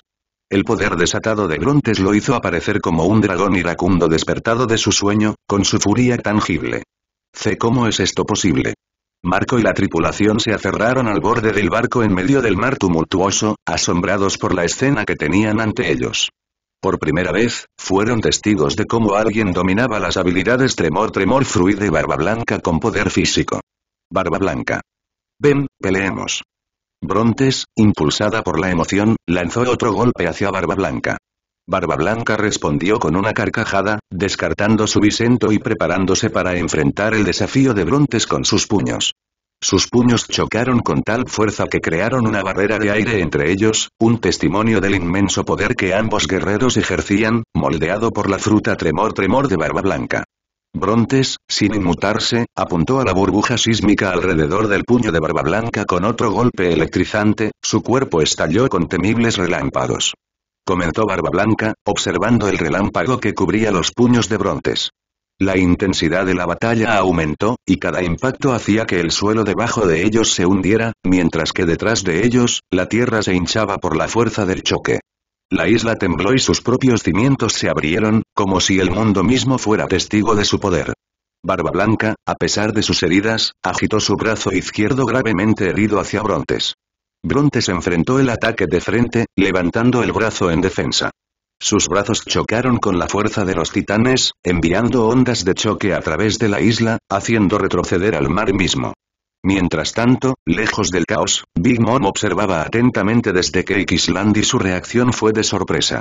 ¿Qué pasa, mamá? Preguntó Peróspero, con Katakuri y los demás mirando hacia ella, con preocupación grabada en sus rostros. Con los ojos muy abiertos y la voz temblorosa, Big Mom apenas podía creer lo que estaba viendo. ¿No crees que ese bastardo se parece mucho a Kaido en este momento? Ella exclamó. Sus palabras dejaron incrédulos a los miembros de la familia Charlotte. Sentándose de nuevo, sumida en sus pensamientos, Big Mom agregó.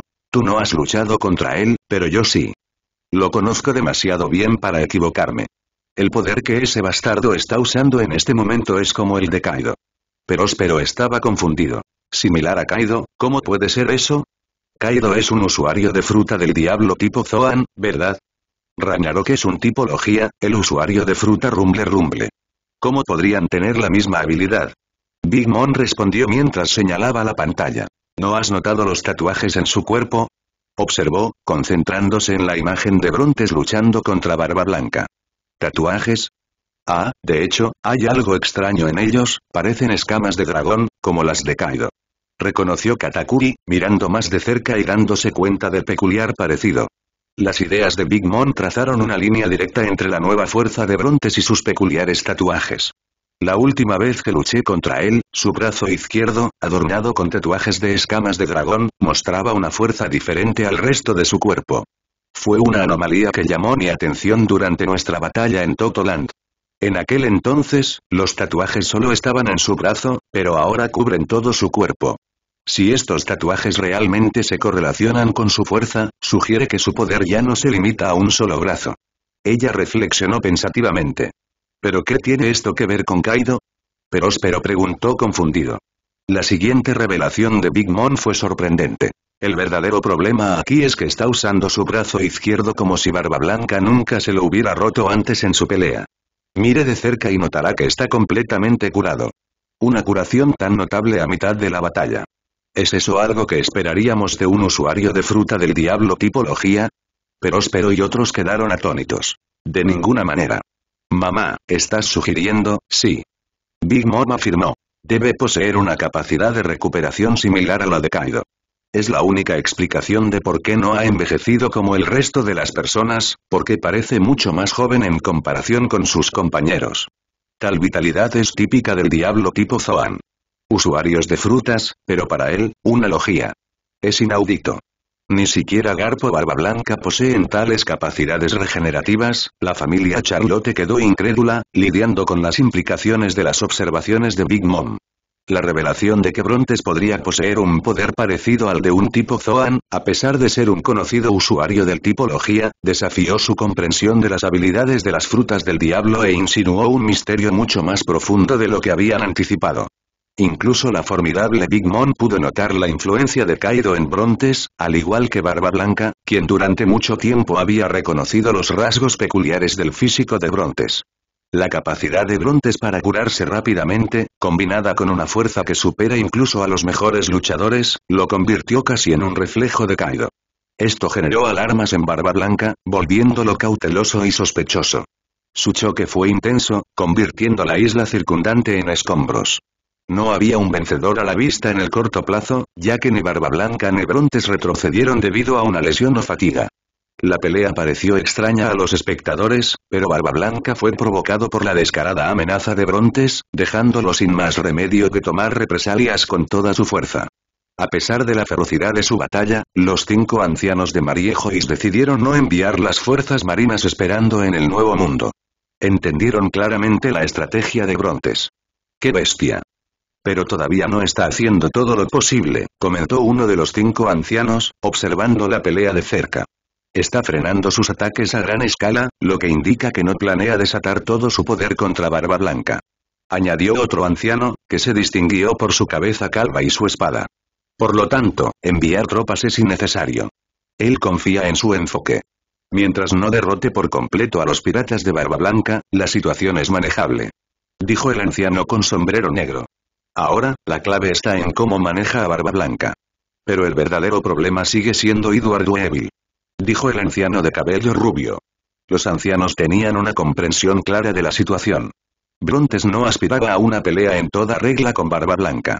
Si ese fuera el caso, apuntaría a otros miembros de los piratas de Barba Blanca para debilitarlos, en lugar de participar en un duelo uno a uno con el propio Barba Blanca. A pesar del abrumador desafío, pasar por alto a Barba Blanca para apuntar a su tripulación sería factible para Brontes si así lo deseara. La intensidad de la batalla aumentó, dejando a la isla fracturada y sin una base segura. Las nubes de tormenta desaparecieron cuando Brontes aprovechó los relámpagos, lanzando ataques implacables sobre Barba Blanca desde arriba, asemejándose a un bombardeo interminable sobre un gran objetivo. Con el poder de Tremor Tremor Fruit a su disposición, Barba Blanca respondió ferozmente, convirtiéndolo en un espectáculo de poder. Brontes, por otro lado, no vio ninguna razón para contener sus ataques relámpago. El aire crepitaba y el cielo se cubrió de relámpagos que disuadían cualquier aproximación por medios ordinarios.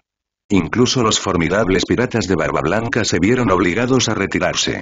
Los tsunamis sísmicos provocados por el poder de su líder no les dejaron otra opción. Cuando amaneció, señalando la continuación de la batalla, ambos guerreros permanecieron indomables, su choque se prolongó sin un vencedor claro, cada golpe asestado con la ferocidad de quien lucha por su vida. En medio del caos, Brontes encontró una oportunidad, empujando a Barba Blanca hacia atrás con un puñetazo formidable mientras gritaba. Barba Blanca, ¿cuál es tu relación con Edward Weevil? Mocoso, ¿cómo crees que vas a entrometerte en mis asuntos? Barba Blanca gritó en respuesta, lanzando un puñetazo al aire, cuya fuerza destrozó la mitad superior del cuerpo de Brontes. Sin embargo, Brontes se recuperó rápidamente casi de inmediato, se armó con una lanza de aleación y reanudó su ataque agresivo. Parece que no estás dispuesto a decírmelo. Honestamente, ¿estás realmente preparado para sacrificar a todos los piratas de Barba Blanca por Edward Weevil? Brontes preguntó con una mueca de desprecio. Tus planes no tienen influencia sobre mí, mocoso. Pero tus palabras sí me han enfurecido. La respuesta de Barba Blanca fue rápida y decisiva, un movimiento de su naginata que sofocó la agresión de Brontes. Entonces, ¿realmente no lo dirás, eh? Bueno, entonces, no me contendré más. Dijo Bronx. Brontes, imperturbable, señaló su negativa a contenerse más. Lo que estaba en juego estaba claro. Ninguno de los guerreros estaba dispuesto a ceder, sus tácticas eran tan personales como su enemistad. Gurararara. Ven y déjame ver qué puedes hacer. La risa estruendosa de Barba Blanca resonó por toda la isla, mientras agarraba firmemente su naginata, desatando un poderoso barrido hacia Brontes. La fuerza generó un ciclón devastador, y su arma canalizó energías sísmicas que desgarraron la atmósfera. El cuerpo de Brontes fue hecho añicos, pero se reconstituyó a partir de un rayo, persistiendo en el implacable asalto contra Barba Blanca. A medida que el tiempo avanzaba, un día y medio, dos días, la batalla se desarrollaba sin un vencedor. Ambos combatientes, ahora jadeando por aire, mostraron un espíritu inquebrantable, sus cuerpos desgastados pero su determinación inquebrantable. A pesar de dos días de feroz combate, la conexión de Barba Blanca con Weevil siguió siendo un misterio, dejando a los espectadores casi agotados por la tensión. Morgans, estacionado en la orilla del mar, con los ojos ahora inyectados en sangre por los días sin dormir, se maravilló de la tenacidad de los dos monstruos. Monstruos. ¿Cuánto tiempo más podrán seguir así? exclamó, abrumado por su resistencia. El precio de la batalla fue evidente. La isla casi fue tragada por el mar, dejando atrás un simple pedazo de tierra en medio de lo que ahora parecía un arrecife después de la marea. En Marineford, Sengoku y los altos mandos de los marines permanecieron vigilantes y siguieron el conflicto sin descanso. Al tercer día, las noticias de la lucha titánica entre Barba Blanca y el almirante de la flota Ragnarok, el nombre supuesto de Brontes, habían permeado el nuevo mundo. La intensidad de su enfrentamiento, ambientado en el campo de batalla de una isla, se volvió legendaria. Sin embargo, la gravedad de la situación disuadió cualquier posible intervención. Los diarios estaban saturados de actualizaciones sobre la escaramuza. Informes sobre las heridas de Barba Blanca, las brontes siendo impulsadas por el aire y la naturaleza cataclísmica de su pelea, ilustrada por el mar bifurcándose y el cielo iluminado por relámpagos. Las imágenes por sí solas transmitían la ferocidad de su enfrentamiento, disuadiendo incluso a los más curiosos de aventurarse demasiado cerca del campo de batalla. Además, las consecuencias sísmicas de su enfrentamiento provocaron tsunamis masivos que afectaron a las islas cercanas durante dos días consecutivos. Los impactos ecológicos y sociales fueron profundos, alteraron la vida de innumerables seres y remodelaron la geografía de las áreas afectadas. En la oficina del almirante de la flota en Marineford, la atmósfera era tensa, lo que reflejaba la atención global cautivada por la batalla en curso. Sengoku, sintiendo el peso de sus años más agudamente en momentos como estos, luchó con la naturaleza implacable del conflicto. ¿Aún no ha terminado? Le preguntó a Kuzun, que acababa de entrar a la oficina. Todavía no. Parece que se prolongará. Están igualados, lo que hace que el resultado sea algo incierto. Kuzun respondió sacudiendo la cabeza, encarnando la incertidumbre de la situación. Sengoku, todavía luchando con la incredulidad, reconoció la asombrosa fuerza de Brontes, lo que le permitió enfrentarse cara a cara con Barba Blanca. La fuerza de Brontes ha aumentado mucho a lo largo de los años. Pensar que podría luchar contra Barba Blanca hasta este punto. Dijo, con una mezcla de sorpresa y asombro coloreando su voz. No se sabe ya. Pero tal como están las cosas, elegir un ganador pronto parece poco probable. Sakazuki está cada vez más impaciente, viendo esto como un momento oportuno. Planea intervenir, con la esperanza de eliminar a Barba Blanca con un golpe combinado de Borsalino y él mismo, en tándem con Brontes. Kuzun explicó lentamente. La respuesta de Sengoku, una mezcla de resignación y realismo, destacó la imposibilidad de tal esfuerzo, no debido a la viabilidad de matar a Barba Blanca, sino más bien a las implicaciones políticas y la moderación impuesta por los cinco ancianos, quienes probablemente se opondrían a una medida tan drástica. Cambiando de tema, Sengoku preguntó. ¿Qué pasa con Pelirrojo y Kaido? La mención de estos formidables piratas introdujo otra capa de complejidad en el escenario que se estaba desarrollando. El suspiro de Kuzun reveló la delicadeza de la situación. Es precisamente por Kaido y Pelirrojo que Sakazuki se está conteniendo actualmente. ¿Qué están haciendo esos dos piratas? Preguntó Sengoku seriamente. Mientras tanto, en un sector remoto del Nuevo Mundo, se desarrolló un enfrentamiento imponente entre dos barcos. Las banderas de los piratas bestia y los piratas pelirrojos ondeaban al viento, señalando un encuentro tenso que había persistido durante dos días. Dos días antes, se produjo un cambio en el Nuevo Mundo. Al enterarse del enfrentamiento entre Brontes y Barba Blanca, Kaido se encontró incapaz de quedarse quieto, lleno de un ardiente deseo de unirse al conflicto. Sin embargo, los vínculos de Kaido con los Morgan no eran fuertes, lo que lo colocaba en desventaja. A diferencia de Big Mom y otros poderes, él no recibió las noticias directamente de Morgans. Cuando le llegó la noticia de la batalla, esta ya había comenzado. Sacudiendo la neblina de su borrachera, Kaido agarró su canabo y se apresuró a ir a la isla donde Brontes y Barba Blanca estaban enzarzados en combate. Sin embargo, su viaje fue detenido por Kim y otros miembros de la tripulación que se opusieron a su participación en la batalla. Haciendo caso omiso de sus objeciones como una mera tontería, Kaido reunió a un puñado de sus seguidores y abandonó Nigashima, zarpando con un único objetivo. Enfrentarse tanto a Barba Blanca como a Brontes.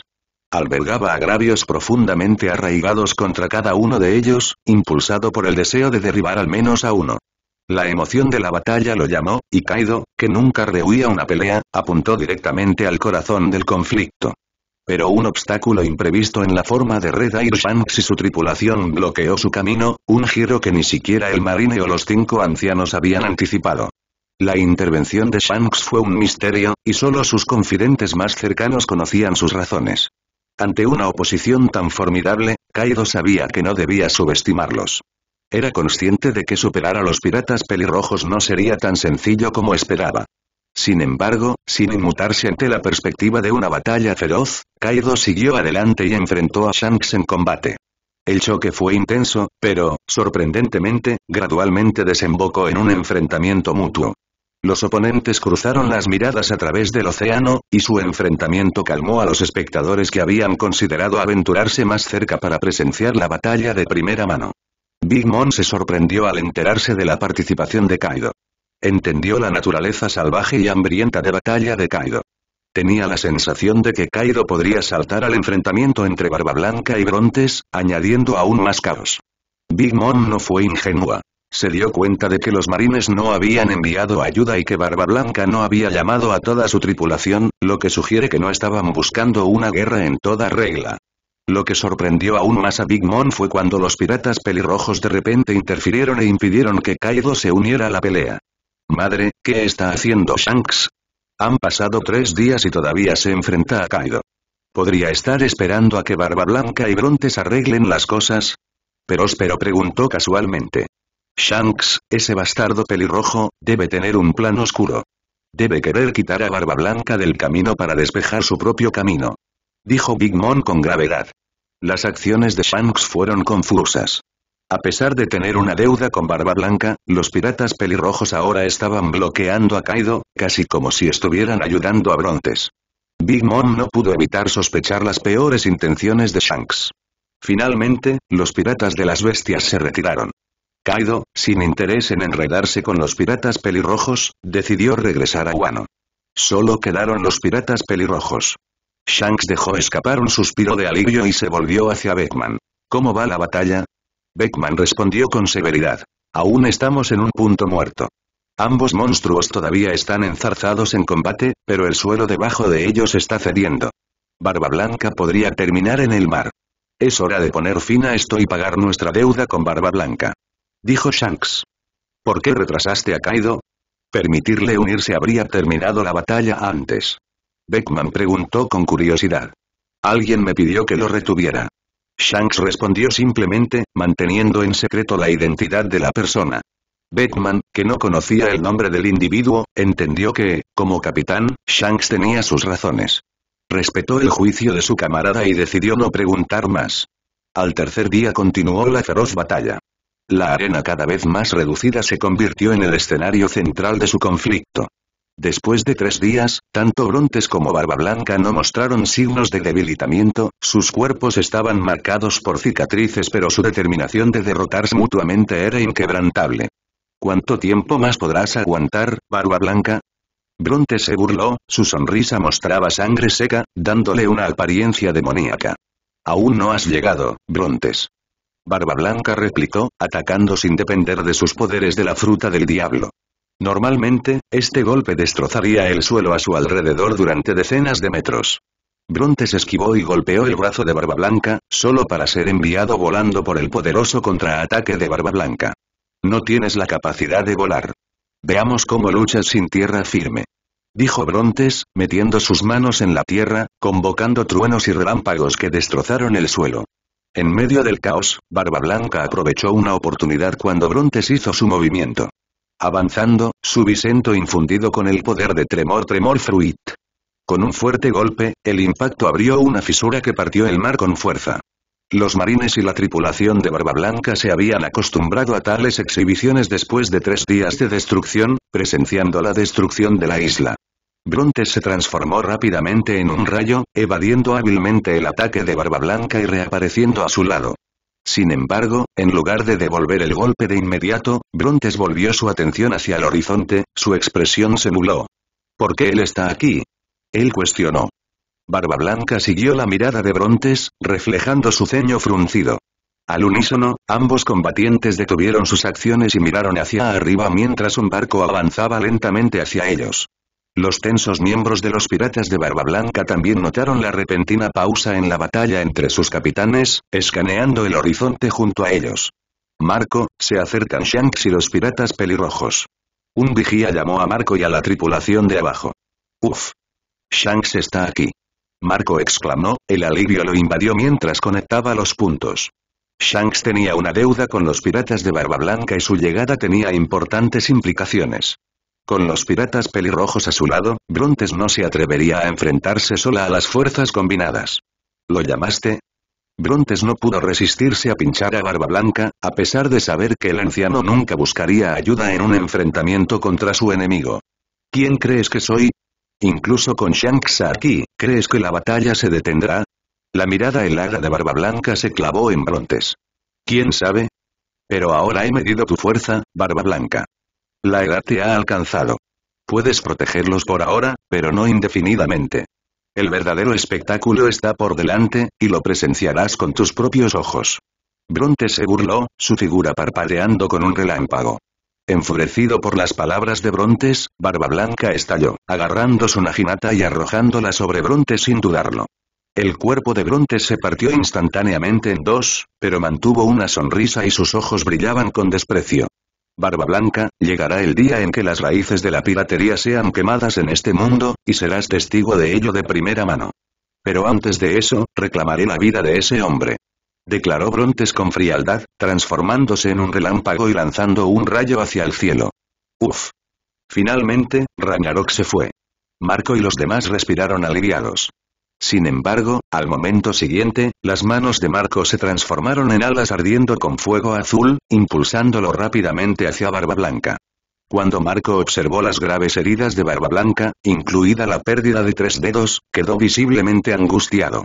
Con ternura, agarró la mano de Barba Blanca, rodeado por las llamas protectoras que envolvían la maltrecha forma de Barba Blanca. Mirando al cielo con fría resolución, Barba Blanca luego miró a Marco, quien atendió diligentemente sus heridas. Interiormente, dejó escapar un suspiro de cansancio. Apenas tres días después del agotador conflicto, Barba Blanca sintió agudamente el peso de sus años, sintiendo su incapacidad para seguir el ritmo por más tiempo.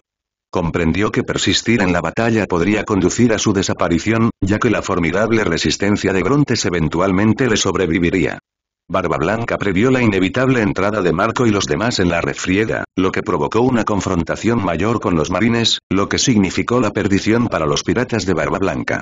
A pesar de su inquebrantable confianza en su propio poder, el implacable paso del tiempo había erosionado su poder. Comparado con los formidables almirantes de la infantería de marina, los cimientos de su tripulación parecían frágiles.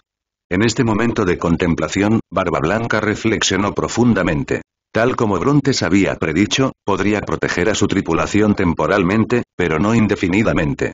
Mocoso pelirrojo, Barba Blanca miró el buque de guerra perteneciente a los piratas pelirrojos, con sentimientos encontrados y difíciles de entender. Al ver a Brontes se dio cuenta de que su plan había tenido éxito. Sin embargo, decidió no acercarse más a Barba Blanca. Quería evitarle cualquier daño potencial al orgullo del hombre mayor. Regresemos. Shanks le dijo a su tripulación. En cuestión de minutos, los piratas pelirrojos partieron tan rápido como habían llegado. Poco después, Brontes regresó a su propio buque de guerra. A su regreso, dos médicos corrieron hacia él, ansiosos por evaluar cualquier herida. Brontes les permitió continuar sin objeciones. Señor, sus lesiones son solo superficiales. Con descanso y nutrición adecuados, se recuperará en poco tiempo. Lo confirmaron después de un examen exhaustivo. Está bien. Respondió Brontes, justo cuando un asistente se le acercaba con un abrigo nuevo y lo colocaba suavemente sobre sus hombros. Señor, ¿cuál es nuestro próximo destino? Preguntó el asistente. ¿Ha habido alguna actualización sobre la ubicación de Edward Weevil? Brontes preguntó en un tono tranquilo. Ha hecho un buen trabajo al cubrir sus huellas, pero lo hemos localizado en una isla en el Nuevo Mundo, donde reside actualmente. El asistente respondió asintiendo. Entonces pongamos rumbo allí. Y prepárame algo de comida. Añadió Bronx. Brontes se sentía seguro de su condición física, gracias a las células inmortales de Kaido. Mientras mantuviera su fuerza, incluso las lesiones graves se curarían en un tiempo notablemente corto. Su voluntad de enfrentarse a Barba Blanca durante un período tan prolongado surgió de la creencia de que, en última instancia, podría sobrevivir a Barba Blanca en el campo de batalla. Ahora, faltan unos siete años para la guerra de la cumbre. En este momento, Barba Blanca tiene más de 60 años y ya no está en la flor de la juventud. Aunque Barba Blanca era considerablemente mayor, tenían más de 60 años, sus habilidades de combate seguían siendo temibles. A partir de este encuentro, Brontes obtuvo una visión significativa de las capacidades de Barba Blanca y llegó a una conclusión audaz. Creía que podía derrotar a Barba Blanca en un combate uno a uno, suponiendo que primero pudiera agotar la resistencia de Barba Blanca. A pesar de que Barba Blanca había envejecido, su fuerza actual no debía tomarse a la ligera. De hecho, fue muy formidable. En la vasta extensión del océano, además de Brontes, nadie se atrevió a afirmar que podían vencer a Barba Blanca, y mucho menos a considerar la idea de matarlo, incluido Cairo. En la serie original, Barba Blanca había encontrado su fin a manos del marine siete años después durante la Guerra de la Cumbre por algunas razones críticas. En primer lugar, la edad había alcanzado a Barba Blanca. En ese momento, había entrado en los 70, visiblemente envejecido más allá de su edad. La combinación de la avanzada edad de Barba Blanca y las graves lesiones de su juventud, exacerbadas por el uso de Tremor Tremor Fruit, significaban que cada vez que ejercía sus poderes de fruta del diablo, su cuerpo sufría una fatiga extrema. Envejeció su físico para parecerse al de una persona de 80 años. En segundo lugar, incluso antes de que comenzara la batalla, Barba Blanca ya había sido debilitado por un ataque sorpresa de Squart. Después de esto, participó en un combate contra Sakazuki y otros. Durante la batalla, una enfermedad preexistente empeoró y culminó con el puñetazo de Sakazuki que le atravesó el pecho. Si no hubiera sido por estas condiciones preexistentes, el resultado de la guerra de las cumbres podría haber sido decididamente diferente. El precio de la edad de Barba Blanca finalmente llevó a su caída, rodeado por marines y Barba Negra durante la Guerra de la Cumbre. En cuanto al Barba Blanca del presente, su fuerza sigue siendo impresionante, pero Brontes no alberga miedo. Confiado en su nueva destreza, Brontes cree que tiene la capacidad de derrotar a Barba Blanca de una vez por todas. En el Nuevo Mundo, se encuentra la Isla de los Sueños de la Codicia, un lugar muy conocido entre aquellos involucrados en los aspectos más oscuros de la sociedad. Cualquiera que tenga conexiones con el inframundo probablemente esté familiarizado con él. Gil de Tesoro, aunque todavía no es un nombre familiar hasta donde Brontes sabe, está igualmente asociado con la opulencia y la anarquía a través de su barco dorado. De manera similar, la isla de la codicia es conocida por su falta de reglas y regulaciones. Esta isla alberga el casino más grande del Nuevo Mundo, rodeado de innumerables escaparates ilegales. Aquí se puede encontrar prácticamente cualquier tipo de actividad o mercancía ilícita. Mientras que el barco dorado de tesoro genera la admiración tanto de la nobleza como de la gente común, la isla de la codicia sirve como santuario para piratas y traficantes del mercado negro. Una característica distintiva de la isla de la codicia es su clima, que es exactamente lo opuesto a las condiciones de Enies Lobby. Los visitantes del lobby de Enies destacan su entorno único. Es una isla ubicada sobre una enorme cascada marina, lo que garantiza que siempre haya sol allí. El flujo de aire continuo de la cascada mantiene el cielo libre de nubes, permitiendo que la luz del sol inunde el área excepto por la noche. Por el contrario, la isla de la codicia está envuelta en una oscuridad perpetua, cubierta por una gruesa capa de nubes que bloquean el sol, lo que hace que la luz del día sea un espectáculo poco común. Las personas que viven allí se han adaptado a esta oscuridad eterna, lo que lo convierte en un lugar absolutamente único en comparación con cualquier otro lugar. Los meteorólogos han profundizado en el peculiar patrón climático de la isla de la codicia y atribuyen sus interminables cielos nublados a las raíces volcánicas de la isla. La ceniza arrojada por los volcanes submarinos se eleva y se mezcla con la capa de nubes, creando una capa más densa de nubes similar a las que se ven alrededor de las islas celestes. Sin embargo, estas nubes no son lo suficientemente espesas como para formar una verdadera isla celeste, pero sí contribuyen a la perpetua oscuridad de la isla. Brontes, después de conocer el paradero de Edward Weevil, puso su mirada en la isla de la avaricia. Su objetivo no es otro que Weevil, que se ha refugiado en la isla junto a su madre, Bukin. Después de un viaje de dos días desde los territorios de Barba Blanca, Brontes casi llega a su destino. ¿Aún estás en la isla de la avaricia? Preguntó Brontes mientras sostenía el Denden Musi. La respuesta llega del Denden Musi con voz suave y gentil. Sí, no se ha ido. Están escondidos en el casino. Bukin ha sido estafado por unos jugadores, perdiendo una suma importante, jeje. Vigílalos de cerca. No los dejes escapar. Brontes ordena severamente. Entendido, señor. Afirma la voz del Denden Musi. Brontes colgó. La mujer con la que hablaba no era otra que Stussy, conocida como la reina del distrito del placer. Como un espía de larga data colocado por el gobierno mundial en el inframundo durante años. Su lealtad y orientación moral siempre han sido temas de debate. Brontes, sin embargo, no se centra en juzgar su ética. El papel de Stussy en el inframundo, en particular su influencia sobre numerosas mujeres, que fue la fuente de información, era innegable. A lo largo de los años, Brontes ha llegado a reconocer la corrupción profundamente arraigada y los oscuros secretos que alberga el gobierno mundial, realidades que le disgustan, aunque se siente incapaz de desafiarlas directamente. La mención que hace Stussy del jugador que estifó a Bukin no es solo un chisme. Este individuo es una figura prominente dentro del paraíso criminal de la isla de la codicia, y dirige el casino clandestino que atrae tanto a los ricos como a los desesperados. La interacción de Brontes con Stussy subraya la compleja red de alianzas y enemistades que definen el mundo de los piratas y criminales del Nuevo Mundo. La isla de la avaricia. Brontes habló suavemente, su determinación era inquebrantable. Estaba decidido a actuar con decisión, plenamente consciente de que la isla de la avaricia no albergaba inocentes. Si el barco dorado de tesoro era un sueño de riquezas para el hombre común, entonces la isla de la codicia era una pesadilla hecha realidad, un lugar que despojaba despiadadamente a los visitantes de hasta la última berry que tenían. Fue un imán para lo peor que la sociedad tenía para ofrecer, a menudo a costa de aquellos que deambulaban sin ser conscientes de su verdadera naturaleza. A medida que el barco de Brontes, el Arg Maxim, se acercaba, el mundo todavía bullía de conversaciones sobre su reciente enfrentamiento con Barba Blanca, una batalla que había causado conmoción en todo el mundo justo el día anterior. El conflicto de tres días entre Brontes y Barba Blanca tuvo un beneficiario inesperado. Morgans, que consiguió la presidencia del periódico World Economy. Habiendo presenciado la pelea él mismo, Morgans pudo brindar un relato de primera mano de la batalla, detallando su progreso y el sorprendente resultado. La gente de todo el mundo había estado conteniendo la respiración por el resultado de este extraordinario choque. Para la mayoría, la idea de que Barba Blanca, el hombre celebrado como el más fuerte, pudiera encontrar su rival era insondable. A pesar de la prolongada lucha contra Brontes que duró tres días, no surgió ningún ganador claro. Sin embargo, era innegable que Barba Blanca había sufrido graves heridas en el encuentro. En la retórica empleada por el gobierno mundial, los piratas de Barba Blanca fueron villanos, retratados como la tripulación pirata más espantosa y amenazante de todos los mares, solo superados en notoriedad por los disueltos piratas de Roger.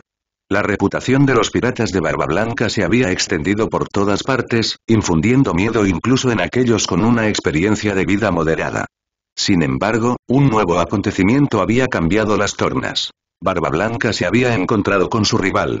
Un héroe del gobierno mundial surgió en la forma del almirante de flota Ragnarok, enfrentándose a Barba Blanca en una batalla ferozmente librada que duró tres días y tres noches, culminando en un punto muerto. Para la gente común, esta noticia fue como una oleada de tranquilidad, reforzando su sensación de seguridad y elevando al mismo tiempo el prestigio del gobierno mundial y los marines. El impacto de este evento fue profundo, tanto en términos de la fuerza percibida de las autoridades como de la validación que ofreció a su reputación. Entre los piratas, la reacción fue mixta. Si bien el poder mejorado del gobierno mundial y los marines, demostrado por el punto muerto entre Barba Blanca y Brontes, imponía respeto, también infundía una sensación de aprensión, especialmente para aquellos en el Nuevo Mundo que entendían el puro terror asociado con los piratas de Barba Blanca. Si incluso Barba Blanca se había quedado corto contra Brontes, ¿qué posibilidades tenían contra toda la fuerza del gobierno mundial y los marines? Al mismo tiempo, la derrota de Barba Blanca sirvió como un recordatorio de que el tiempo no perdona a nadie, y tal vez la edad finalmente había comenzado a alcanzar al venerado capitán. Con la era de Barba Blanca llegando a su fin, el foco de atención estaba a punto de desplazarse hacia el otro Yonko, en particular Kaido, aclamado como el más poderoso entre ellos. A los acontecimientos que se estaban desarrollando se sumó la importante revelación de un enfrentamiento de dos días entre los piratas bestia y los piratas pelirrojos. Aunque las razones detrás de la intervención de los piratas pelirrojos para detener a los piratas bestia seguían sin estar claras, sus acciones lograron alejar a Kaido del campo de batalla, marcando un momento crucial en la dinámica de poder en constante evolución del mundo pirata.